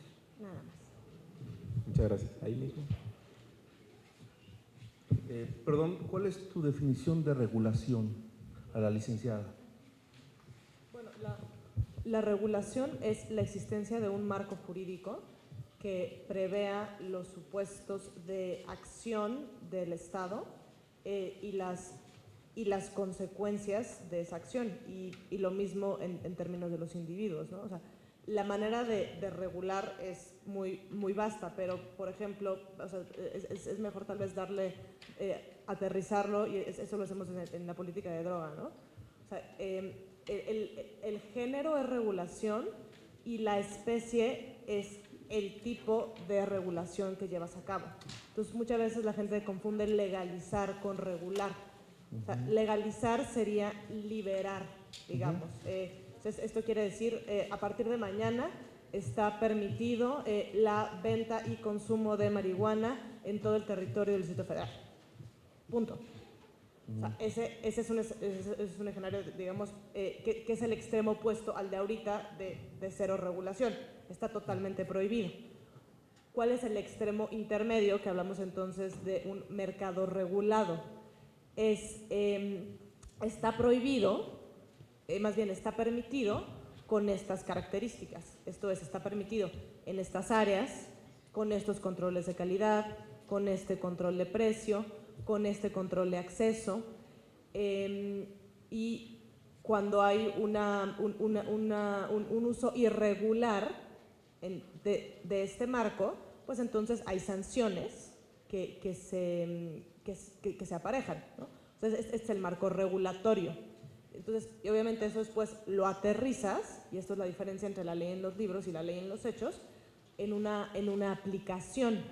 O sea, si hay un marco regulatorio muy bueno, pero no hay nadie que lo aplique, pues entonces, ¿para qué queremos el marco regulatorio? Eh, en el caso de las leyes de, los animales, eh, les llaman penalistas las normas penales en blanco. Cuando tienen sanciones tan altas que al aplicador le parece desproporcional aplicarlas.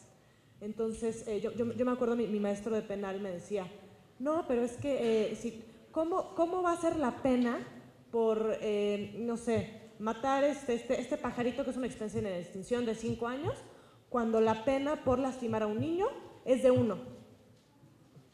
O sea, entonces, o sea, a, aunque a mí, para, para, para, efectos de mi esquema de valores, me parezca muy valioso el tema de, de un animal en peligro de extinción y la vida del animal, lo cierto es que a los aplicadores, a los jueces, normalmente dicen, híjole, es que es tan alta que prefiero no. Entonces ahí, ahí, ahí, es donde tienes esta brecha y este cálculo tan, tan complejo y tan fino que es propio del análisis económico del derecho, que es estudiar los incentivos, que es estudiar la aplicación y, y es lo que te da un marco regulatorio exitoso. Ok, eh, bueno, vamos. Ah, perdón. Este, lo que pasa es que ya se nos está llegando el pero adelante. Ah, okay. Bueno, regular no sería más fácil el mediar entre todas las partes. O sea, o sea, cuando, cuando, tú, cuando tú medias entre las partes y entonces obtienes una, una, un, un, consenso, eso se, se, traduce en regulación. O sea, la, claro. la regulación es, es, como el lenguaje jurídico del consenso. Ok. Bueno, más fácil. Vamos a, nos vamos a ahorrar el break y vamos a pasar directo para queremos que conozcan ya la plataforma donde se ha montado la ley de protección animal en esta alianza que tenemos con la Fundación Democracia en, en Red. ¿Quién me explica?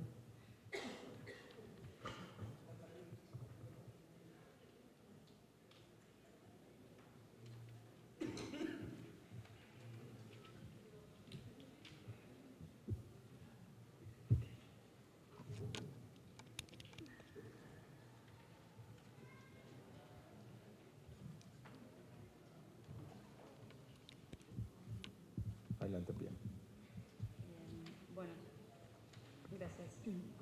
Bueno, digamos, lo que nos propusimos hoy era, era comenzar desde, desde, la teoría, contarles un poco nuestra experiencia, en, enmarcar esto que estamos haciendo en el proyecto de Wikiconstitución, que nos parece que es el proyecto más importante y más fuerte con el cual podemos empezar a trabajar, pero aparte queríamos traer un ejemplo muy en concreto que vamos a estar eh, lanzando la semana que viene ya con, con el sitio oficial, eh, muy concreto sobre cómo podemos usar la tecnología, un espacio eh, de debate y de construcción en conjunto de una política, en este caso del, marco regulatorio de la política de protección animal.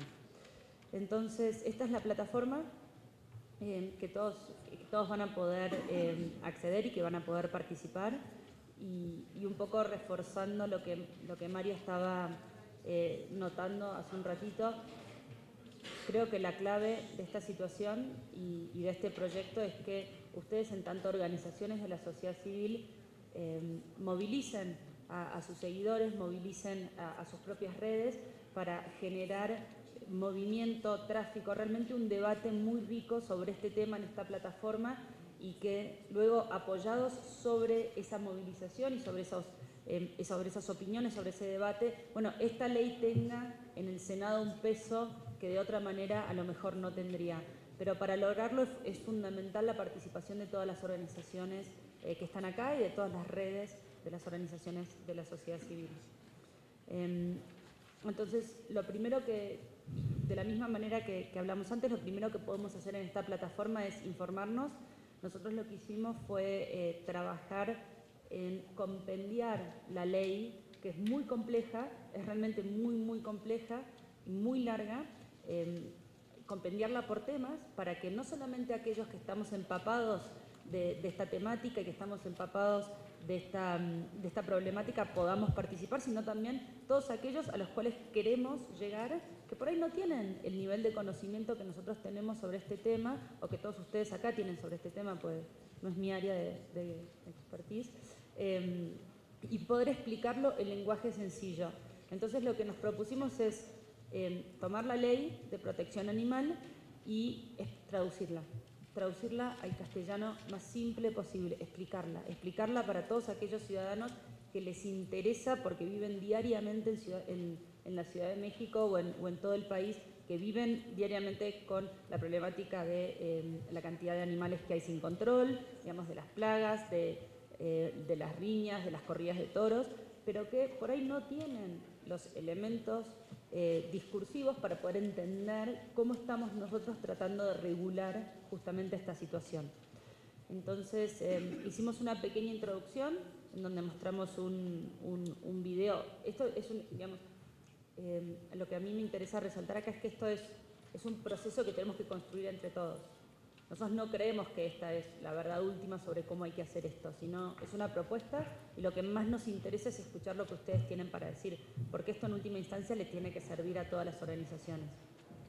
Entonces, primero hacemos una introducción eh, sobre por qué estamos haciendo lo que hacemos, cuál es el objetivo de tener hoy una ley de protección animal, por qué la necesitamos. Eh, y después tenemos cada uno de los distintos eh, capítulos y artículos de la ley agrupados por temas. Entonces, por temas, por ejemplo, de cuál es la ley en general, qué es lo que propone esta ley. Bueno, esta ley vela por la protección de las cinco libertades de los animales, que, sean animales libres de hambre, de sed y de malnutrición, libres de miedo y angustia, libres de incomodidad física y térmica, libres de dolor, eh, heridas, enfermedades y libres de expresar patrones normales de comportamiento. Además, se incluyen las tres Rs que sirven como guía para brindarles un trato adecuado. ¿Cuáles son las tres Rs? Reducir la sobrepoblación de animales, refinar los métodos experimentales y reemplazar a los animales con técnicas de vanguardia. Entonces, este es el espíritu de la ley. Entonces, lo que nosotros tratamos de hacer es esto, es explicarlo en tres párrafos para que todos podamos participar de esta discusión, para no excluir a nadie. Bueno, y así con todo el resto de los capítulos que ustedes después van a poder meterse y, leerlos uno por uno. Eh, por ejemplo, los artículos del 14 al 18, que son muchísimos, una cantidad de información, bueno, ustedes creo que están muy bien empapados del tema. Nosotros la primera vez que leímos la ley nos quedamos como un poco helados. Dijimos, ¿qué vamos a hacer con toda esta cantidad de información y de regulaciones y de, y de ideas? Y bueno, este es un primer acercamiento a tratar de hacerlo digerible. ¿Cómo? Claro. Entonces, em, este es un primer nivel de discusión, esta explicación. Ahora, ¿qué pasa si hay organizaciones como ustedes que sí tienen como realmente conocimiento sobre el tema, que sí saben sobre el resto de la normativa vigente sobre este tema? Bueno, pueden ver acá todos y cada uno de los artículos uno por uno de cómo, digamos, esos artículos de la ley original. Claro, que se refiere en este punto en particular, las obligaciones de los responsables de los animales. Y una vez que los leen pueden generar un debate. Digamos, pueden proponer un argumento y otras personas pueden contestar a ese argumento. Eh, y en última instancia van a poder votar. Van a poder decir si nosotros estamos de acuerdo o no estamos de acuerdo con esta parte. Por ejemplo, la reproducción. ¿Estamos todos de acuerdo que tiene que haber un pago de un permiso anual por concepto de no esterilización que estarán obligados a pagar a aquellos que mantengan la tendencia de un animal sin esterilización, previendo que esta medida contribuirá al control de la reproducción? ¿Estamos todos de acuerdo? ¿No queremos generar un debate sobre qué significa un permiso anual, por ejemplo? ¿Cuál es, cuál es el pago? Digamos, ¿qué, ¿Qué significa esto para determinados sectores de la población? Por ejemplo, si vamos a estar teniendo, me imagino yo, el mismo pago en eh, sectores rurales que en zonas urbanas. Bueno, me parece que esto requiere, digamos, y, abre a debate en donde, y en esta, en esta plataforma lo podemos hacer. Em, educación, los artículos 9 a 17. Nosotros de vuelta, acá lo que tratamos de hacer, bueno, estas fotos solamente. Este es, mi conejo. Se llama Pantufla, se los presento y nada, lo pusimos de decoración. Eh, se establece que los planes y programas de estudio preescolar, primaria y secundaria incluyan contenidos que promuevan una cultura de respeto a los animales. Además, impulsará y promoverá el trabajo interdisciplinario e interinstitucional entre organismos internacionales nacionales, así como las organizaciones sociales, para asegurar la promoción de una educación que contemple el cuidado de los animales. Bueno, por ahí, por ahí hay personas en esta sala que son, bueno, todavía no lo pusimos, que son em, parte de la comunidad educativa y que siento que a lo mejor tienen algo para decir. ¿Qué significa esto en la currícula? En la currícula nacional. ¿Qué, significa, digamos, esto en términos de en qué materias estarían tocando? ¿Qué, lo enseñamos en educación cívica? Por ejemplo, bueno, digamos, me parece que hay mucho para decir sobre esta ley y lo que nosotros les proponemos es usar una plataforma digital para generar ese debate. Em, sí, ah, espera. ¿Dónde voy? Acá, ¿querés decir? Respecto de los mecanismos de participación ciudadana, ¿no? Esto a lo que apuntabas vos anteriormente, de qué pasa eh, si el Estado no puede controlar. Bueno, lo que propone esta ley entre los artículos 43 a 49 es que la misma ciudadanía sea capaz de eh, integrar comités de vigilancia para detectar, en tal caso, abusos sobre los animales. Entonces, ¿cómo implementamos esto? A partir de, cómo nos aseguramos de que efectivamente la denuncia ciudadana llegue a buen puerto. Bueno, esta ley propone una serie de mecanismos, nos parecen bien, nos parecen mal, nos parecen que se pueden fortalecer, seguramente se pueden mejorar. Con la colaboración y la incorporación de puntos de vista informados como los de ustedes, seguramente se podrá construir una ley aún mejor y sobre todo conquistar otras voluntades para esto que es una cruzada. Yo entiendo eh, lo de los sentimientos de soledad por el momento. Bueno, eh, estas herramientas están pensadas para que se sientan más acompañados o en tal caso para que sea más fácil compartir estas preocupaciones. si se preguntan qué es el TIC este que está acá, en Centros de Atención Integral, esto quiere decir que yo ya participé y voté en esta, en esta, no sé yo, en, en este segmento, exacto. Y entonces mi argumento, por ejemplo, yo no entiendo nada, o sea, solamente un ejemplo, ¿eh? esto no es lo que yo siento. No creo que este proyecto deba ser una erogación para el Estado. Bueno, puede haber personas que dicen, bueno, ok, pero yo no siento que esto sea, que tenga que ser una erogación para el Estado. Entonces, ¿por qué es el Estado el que tiene que, por qué no podemos hacer un ente regular? No lo sé, pero entonces nosotros acá realmente podemos meternos en la letra chica de esta discusión y aprovechar la enorme cantidad de conocimiento distribuido que existe entre las organizaciones de la sociedad civil sobre estos temas para cristalizar una ley que tenga sentido, no una ley que se piense solamente desde el Senado para la sociedad, una ley que nazca desde la sociedad y que tenga sentido para la misma. Ay, me respondió.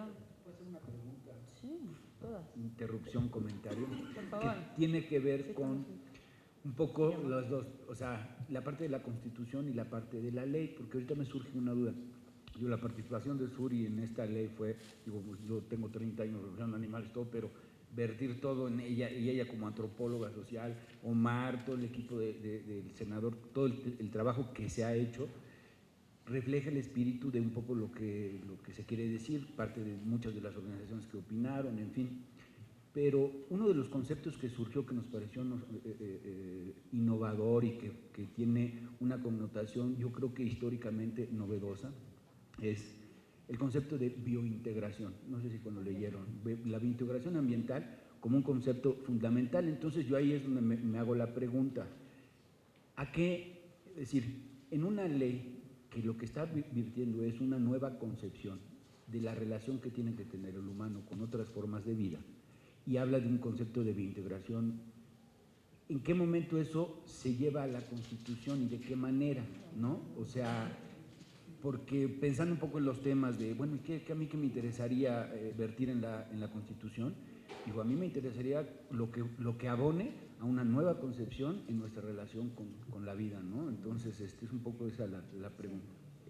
Eh, sí, por eso creo que el, senador propone... Eh, ah, perdón, otra cosa, Esto tiene una funcionalidad en cuanto a que todos los comentarios de la gente, si yo me estoy poniendo a pensar en la cantidad de trabajo, si ahorita con la, la, la ley en la plataforma de la página del senador ha habido montones y montones de comentarios, ya con esta plataforma va a ser un mar de gentes opinando, es decir, el filtrado de todo eso tiene que ser, como decimos aquí en México, a pie, a mano. Sí.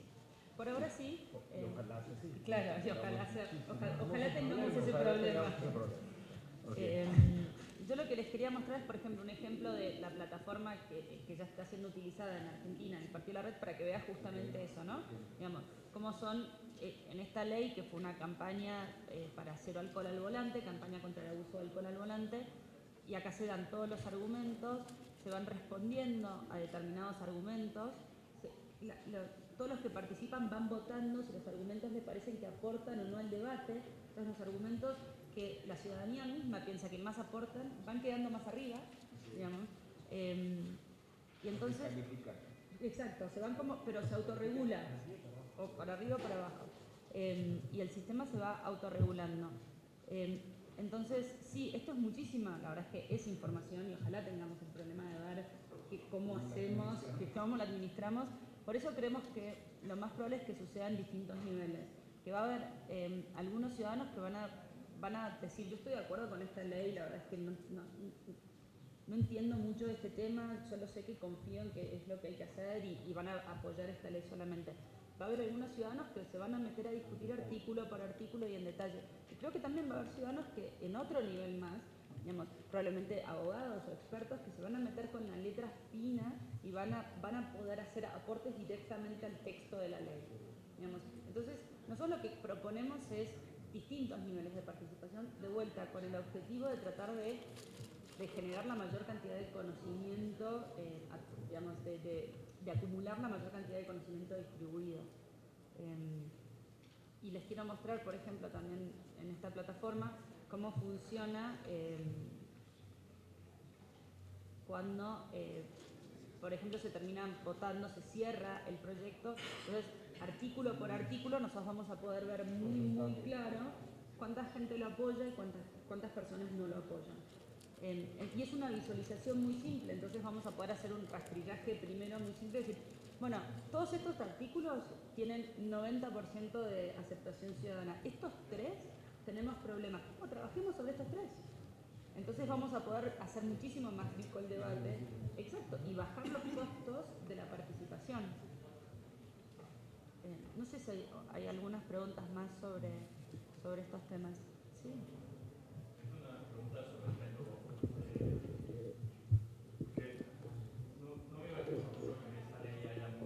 que estén en contra de, ¿no? Pero me imagino que sí puede pasar con otras cosas. Eh, por ejemplo, con la interrupción legal del embarazo. Y entonces, una de las funciones de la democracia también es proteger a las minorías y, eh, y proteger sus derechos.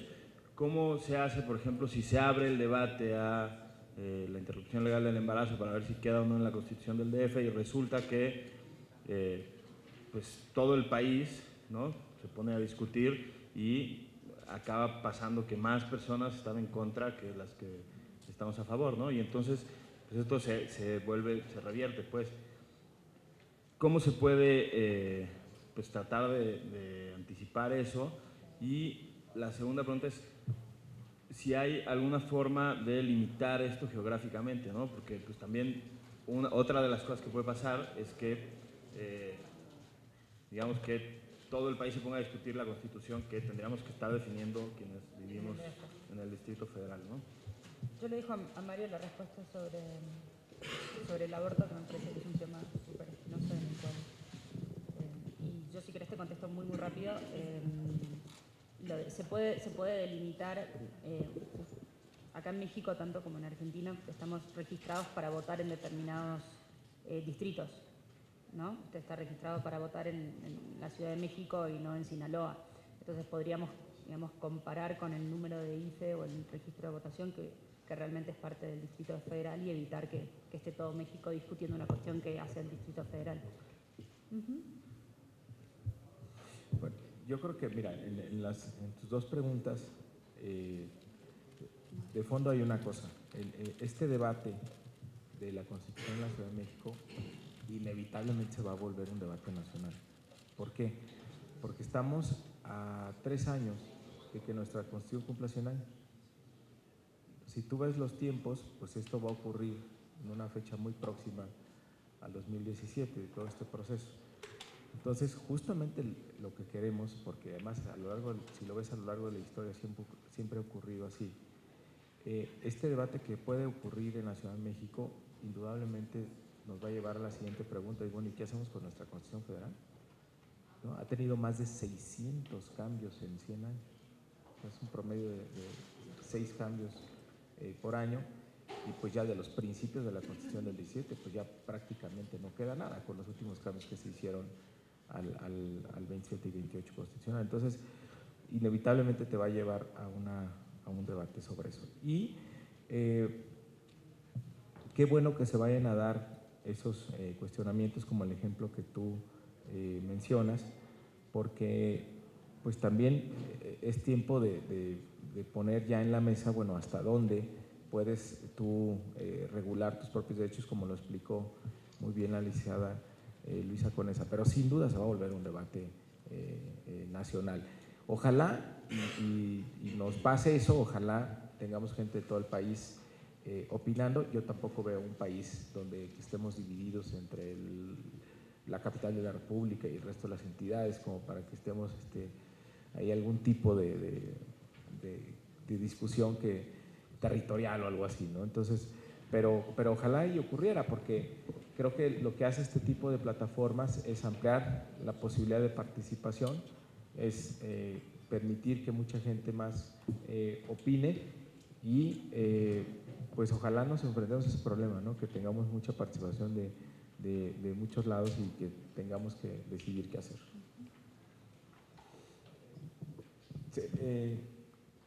¿Seguimos con eso? sí, no, yo quería, no, digamos, básicamente mostrarles esta plataforma, invitarlos a, participar, invitarlos a que lean eh, los, textos que, escribimos, que, nos hagan sugerencias, que, se sumen a este debate y, abrirlo a preguntas, porque sé que estoy segura que hay temas que, nos olvidamos y que no estamos teniendo en cuenta y nos encantaría saber cuáles son. Eh, les, vamos a dar la URL exacta. Eh, el, lunes a la tarde. No, ¿no? Todavía, no, todavía no este, estamos haciendo la, queremos que la presentaran, la vamos a liberar el, ah, me fue. La vamos a liberar el, martes en la mañana, como a las 10 de la mañana, eh, porque tenemos que trasladar toda esta plataforma al sitio, hay dos sitios que conducen al mismo, que es wikiconstitución.mx y yoconstituyente.org. ¿Qué quedó? ¿Org? ¿Dónde está Edgar?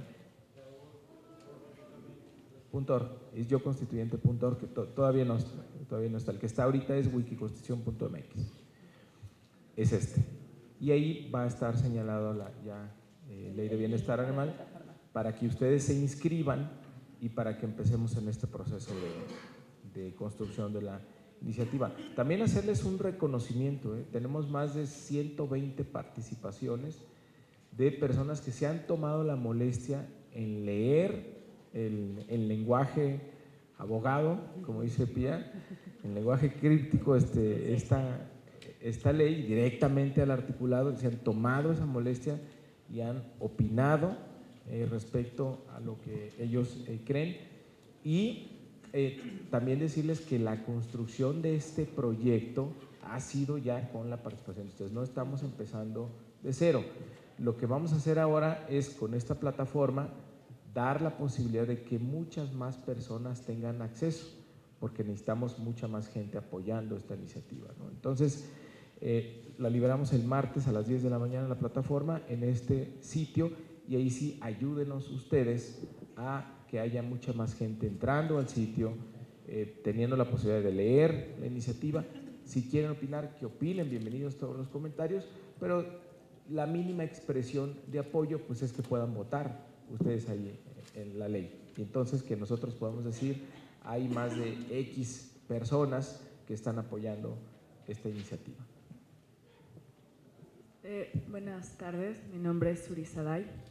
Llevamos casi un año eh, trabajando en esta ley como organizaciones sociales, con el senador Mario Delgado, con el equipo jurídico, con Omar. Tenemos varias versiones que hemos estado revisando a lo largo de casi un año. Y hay una parte importante que me parece fundamental mencionar. Básicamente eh, nace de la inquietud que ya han planteado varias personas eh, el día de hoy, que es que es, está bien un marco legislativo, pero ¿cómo lo vamos a aplicar? Pues dentro de la ley, que les pido que lean, ¿no? que, que participen, está el Instituto Federal de Protección y Bienestar Animal, órgano que se va a dedicar a vigilar, regular y aplicar toda esta serie de articulados que vienen dentro de la ley. Además estamos em, integrando eh, una especie de, agencia que sea encargada también de supervisar y de administrar los recursos que finalmente el instituto eh, destinará al funcionamiento del mismo y de las organizaciones sociales. Una parte fundamental que se planteó en la ley es fondear a las organizaciones sociales, que son ellas las que hacen la labor día con día de rescatar a los animales, de poner atención en su rehabilitación, de darlos en adopción y lamentablemente lo hacen sin recursos. Muy pocas llegan a tener donaciones internacionales o incluso acceder a ciertos programas a nivel nacional es realmente difícil no están consideradas como una prioridad en ninguna de las secretarías y por lo tanto pensamos que era fundamental la creación del Instituto eh, Federal de Protección y Bienestar Animal. Otro de los puntos centrales de esta ley es, como ya bien lo mencionó Juan Carlos, es la biointegración ambiental, que es la concepción del ser humano de la relación con el entorno, de la responsabilidad ética y moral que tenemos los seres humanos para el cuidado del medio ambiente, que finalmente también nos afecta como parte integral de un mundo en el que vivimos. Y bueno, pues eh, yo los invito y dejo abierto a sus comentarios y los invito a que lean la ley y que cualquier comentario que puedan hacer pues es muy benéfico para enriquecer todo este trabajo que les insisto tenemos casi un año. Eh, yo particularmente, de no levantarme varios meses, de estar analizando varias leyes este, que ya se habían, o iniciativas que se habían intentado presentar, leyes de otros países, y sí les digo que a nivel mundial es la primer ley y el primer país que va a tener un Instituto Nacional, bueno, federal, de protección y bienestar animal, ¿no? Y bueno, pues creo que es todo por ahora. Pero los comentarios en Facebook, es que estoy pensando ahorita, cuando le va a dar uno al Facebook y se va a publicar, se va a publicar el artículo con todos los comentarios, ¿qué, es lo que se va a publicar cuando yo le dé clic en Twitter o en Facebook? No, se va a comentar,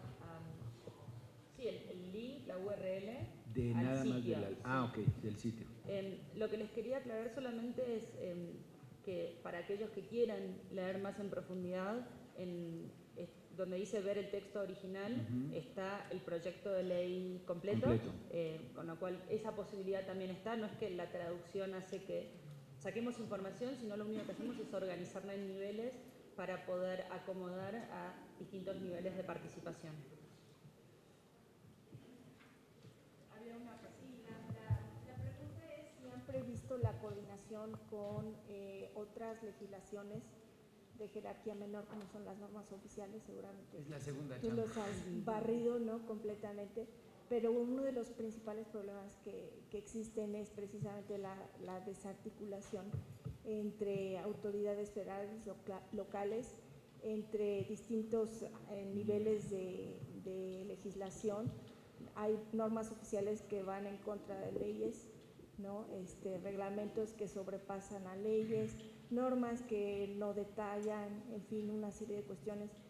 Este, ¿Cómo han previsto toda esta, esta coordinación de legislación? Porque, como tú sabes, hay Este, están abiertos los procesos ahorita de, revisión de las normas oficiales, de, algunas muy importantes, como la gestión de los antirrábicos, otras de la de matanza de, animales y la de, la de establecimientos donde se concentran animales.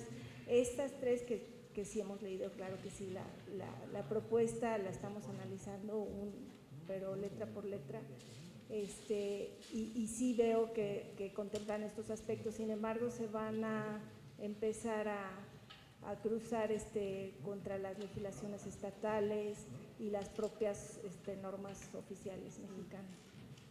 Sí, sí, como decíamos, esa es la segunda parte del trabajo, que es eh, todo el tema de las leyes secundarias y de la afectación que se tiene a normas oficiales. Es realmente algo eh, retador ha sido algo muy, muy retador. ¿Por qué? Porque decían, por ejemplo, no creo que nadie esté en contra de la ley. Híjole, si nosotros empezamos a revisar todo lo que vamos a afectar, por ejemplo, nosotros decíamos, a ver, a mí no me interesa convertir al mundo al vegetarianismo. Yo no como carne, simple y sencillamente soy respetuoso. Yo lo único que quiero es que la gente en un mundo ideal, creemos a lo mejor que no estamos preparados para poder plasmar todo esto en, en leyes y en que la gente esté informada. Este plato de carne es de un animal que vivió en estas condiciones, que fue electrocutado, degollado, etc. Digo, es una cosa muy ruda, es una cosa muy dura, pero si hicieron que los cigarros aparecieran cosas como las que aparecen, nosotros creemos que la gente tiene derecho a, ser informada. Hay un video impactante de un chavito de cuatro años o tres años que le dice a la mamá que por qué matan al pulpo y por qué nos comemos al pulpo, el pulpo siente, el pulpo se muere, etc.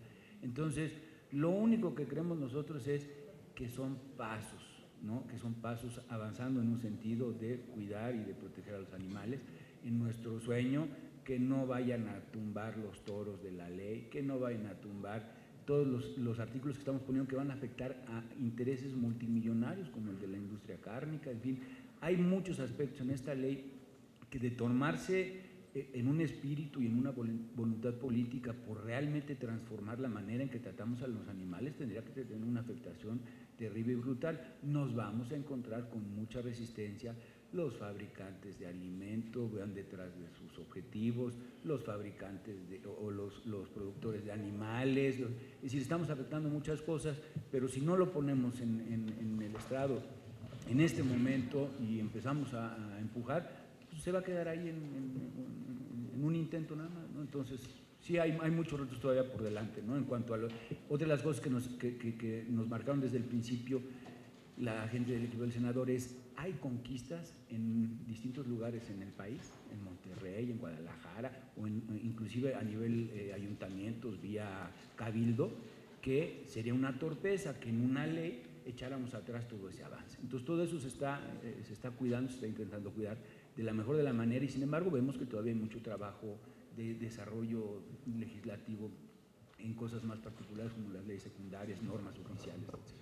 Una, cosa que, que yo les, quería proponer era si, ustedes nos quieren hacer llegar, acá hay un recuadro de mayor información en donde, de vuelta, trabajando en estos distintos niveles, en donde podemos poner eh, otras referencias, como acá pusimos la Declaración Universal sobre el Bienestar Animal, pero si tienen links a videos o, a, leyes secundarias, por ejemplo, o leyes em, de otros, sí, o, mismo locales que, tenemos que empezar a, estudiar y analizar a la luz de, esta, de esta ley en particular. Bueno, si nos la quieren hacer llegar, nosotros podemos ir sumándola como mayor información y de vuelta tratar de generar mayor riqueza en el debate público. Em, así que sí, eso me parece una, una buena idea.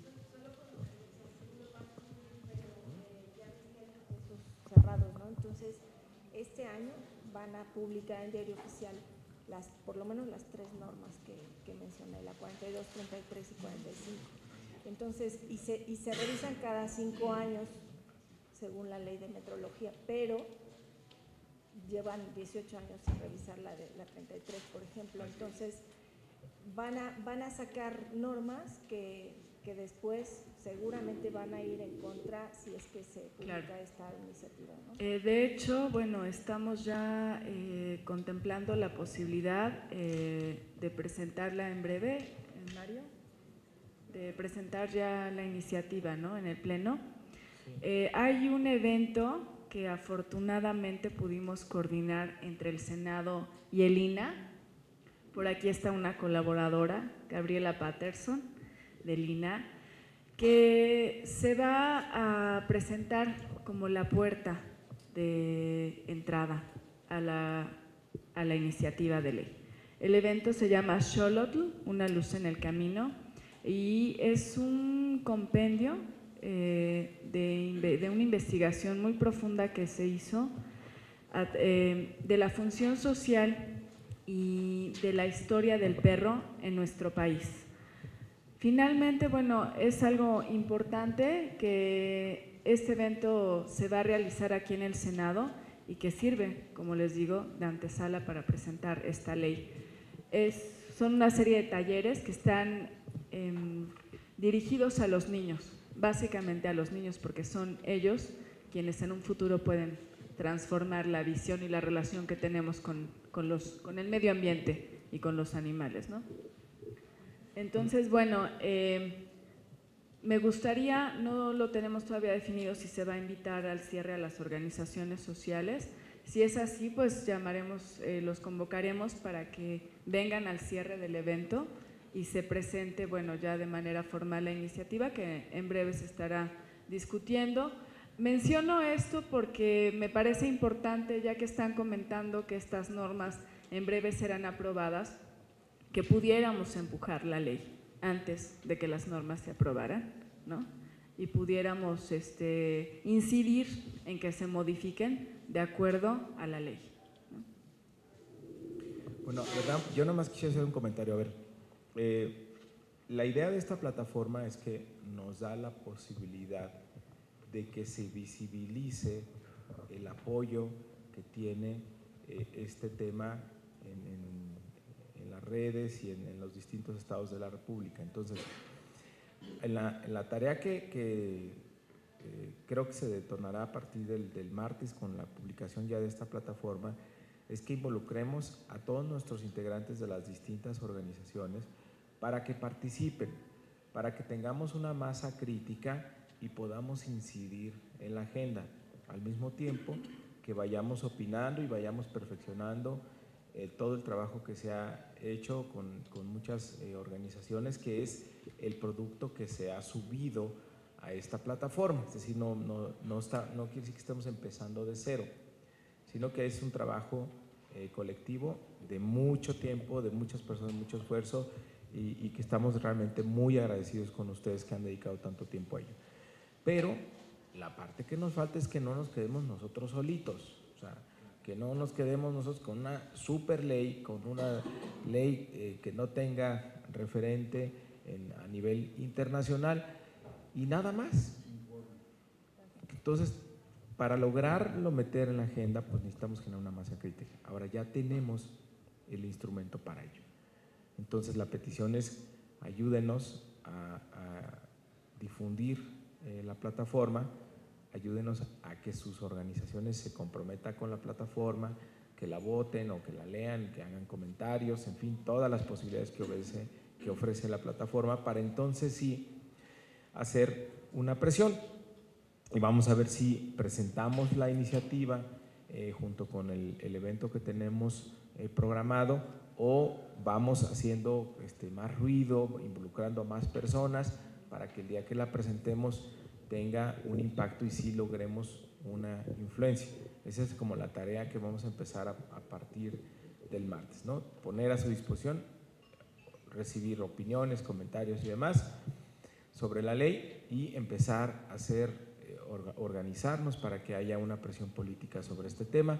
A mí, por supuesto, que me toca la tarea de involucrar a más senadores y senadoras, ¿no? Para que forme parte de la agenda, pero a mí me facilitan muchísimo la labor este, demostrando que hay muchísima gente detrás de, esta iniciativa, de esta aspiración. Una, una manera que, podemos ayudar en, este proceso a, viralizar, como se dice, este, este, proyecto de ley es, por ejemplo, simplemente haciendo clic en, en, Twitter y, compartiendo en sus redes sociales em, el link a la plataforma. Es súper fácil y es una manera de, de vuelta, de, de, contactarse con todas sus redes para tratar de lograr la mayor cantidad de, de público apoyando esta iniciativa.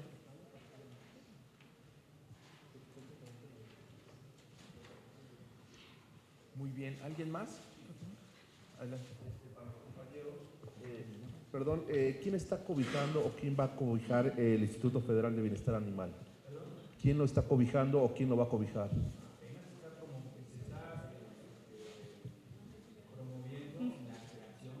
Okay.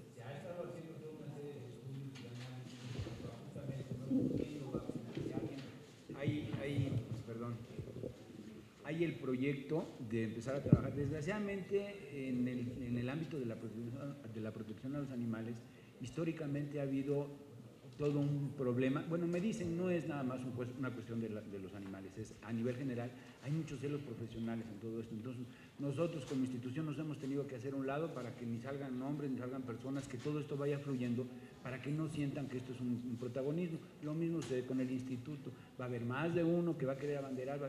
¿Qué estamos queriendo hacer? Claro. Estamos con la parte del marco jurídico, estamos con la parte de esos puentes a través de, de, de, de nuestro mundo político. Ahora lo que nos toca es sumar a la iniciativa privada. Creemos que para financiar gran parte del instituto y de la agencia va a ser fondos públicos y privados. Estamos por empezar okay. a trabajar con, con esta Isela en el CEMEFI, se va a hacer un planteamiento. No se ha logrado sentar a las instituciones en el país en un foro en donde no acaben todo el mundo levantándose, discutiendo y enconándose y chocando.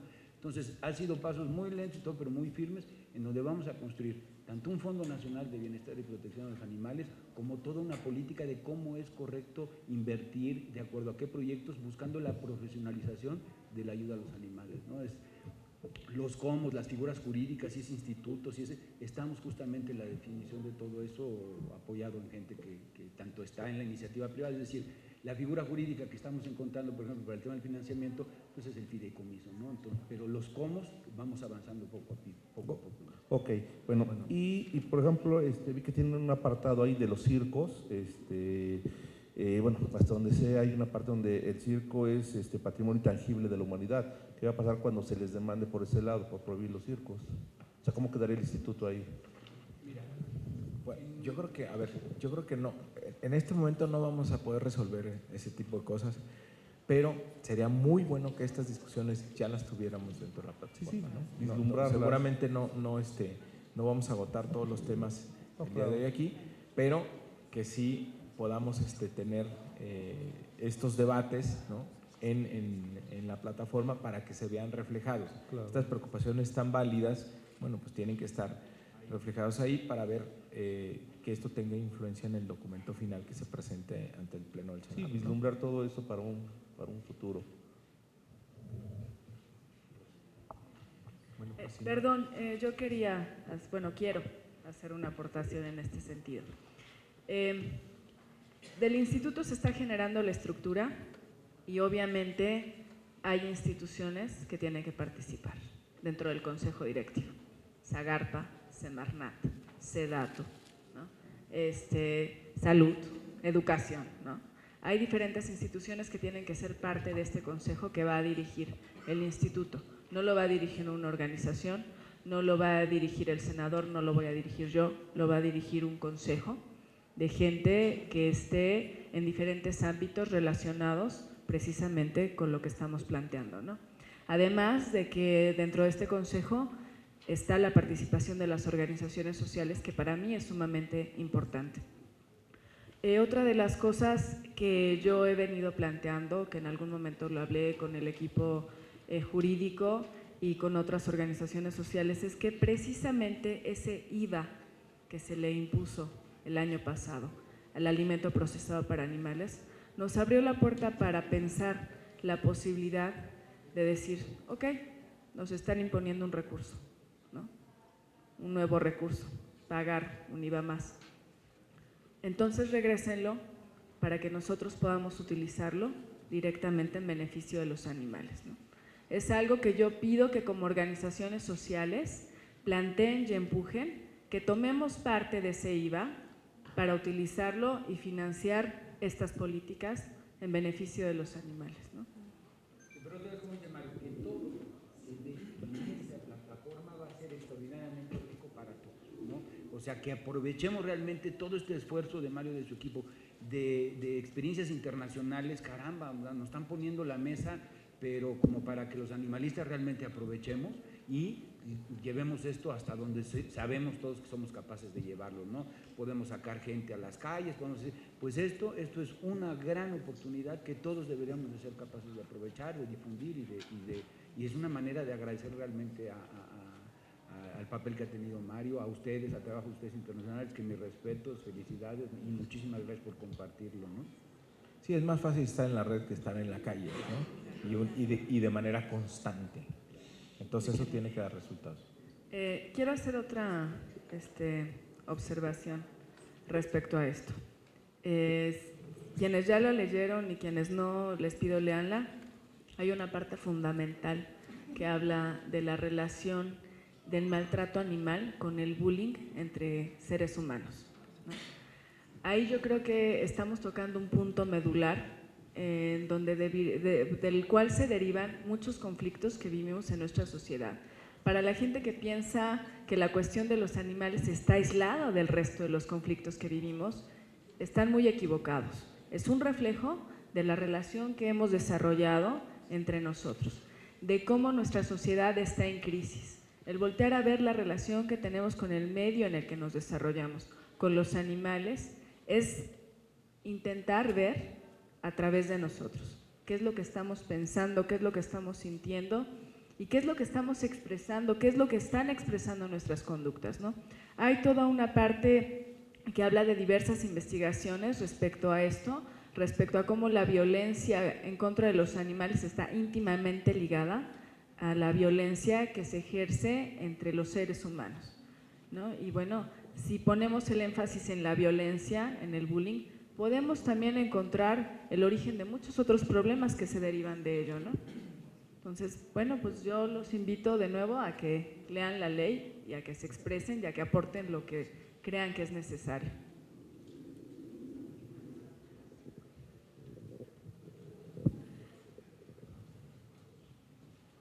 Bueno, pues si no hay más, eh, pues agradecerle a Agustín, a Pía y a todas y a todos ustedes que vinieron el día de hoy aquí y pues les los anunciamos el, el, link a partir de lunes. El site está en línea, el wikiconstitución.mx y ahí vamos a liberar la, la, plataforma y ojalá nos ayuden a, a, difundirlo, a que haya mucha participación, a que haya comentarios, a que la voten para ir generando esta masa crítica que nos pueda llevar a que efectivamente tengamos en este periodo legislativo una ley que sea votada. Muchísimas gracias.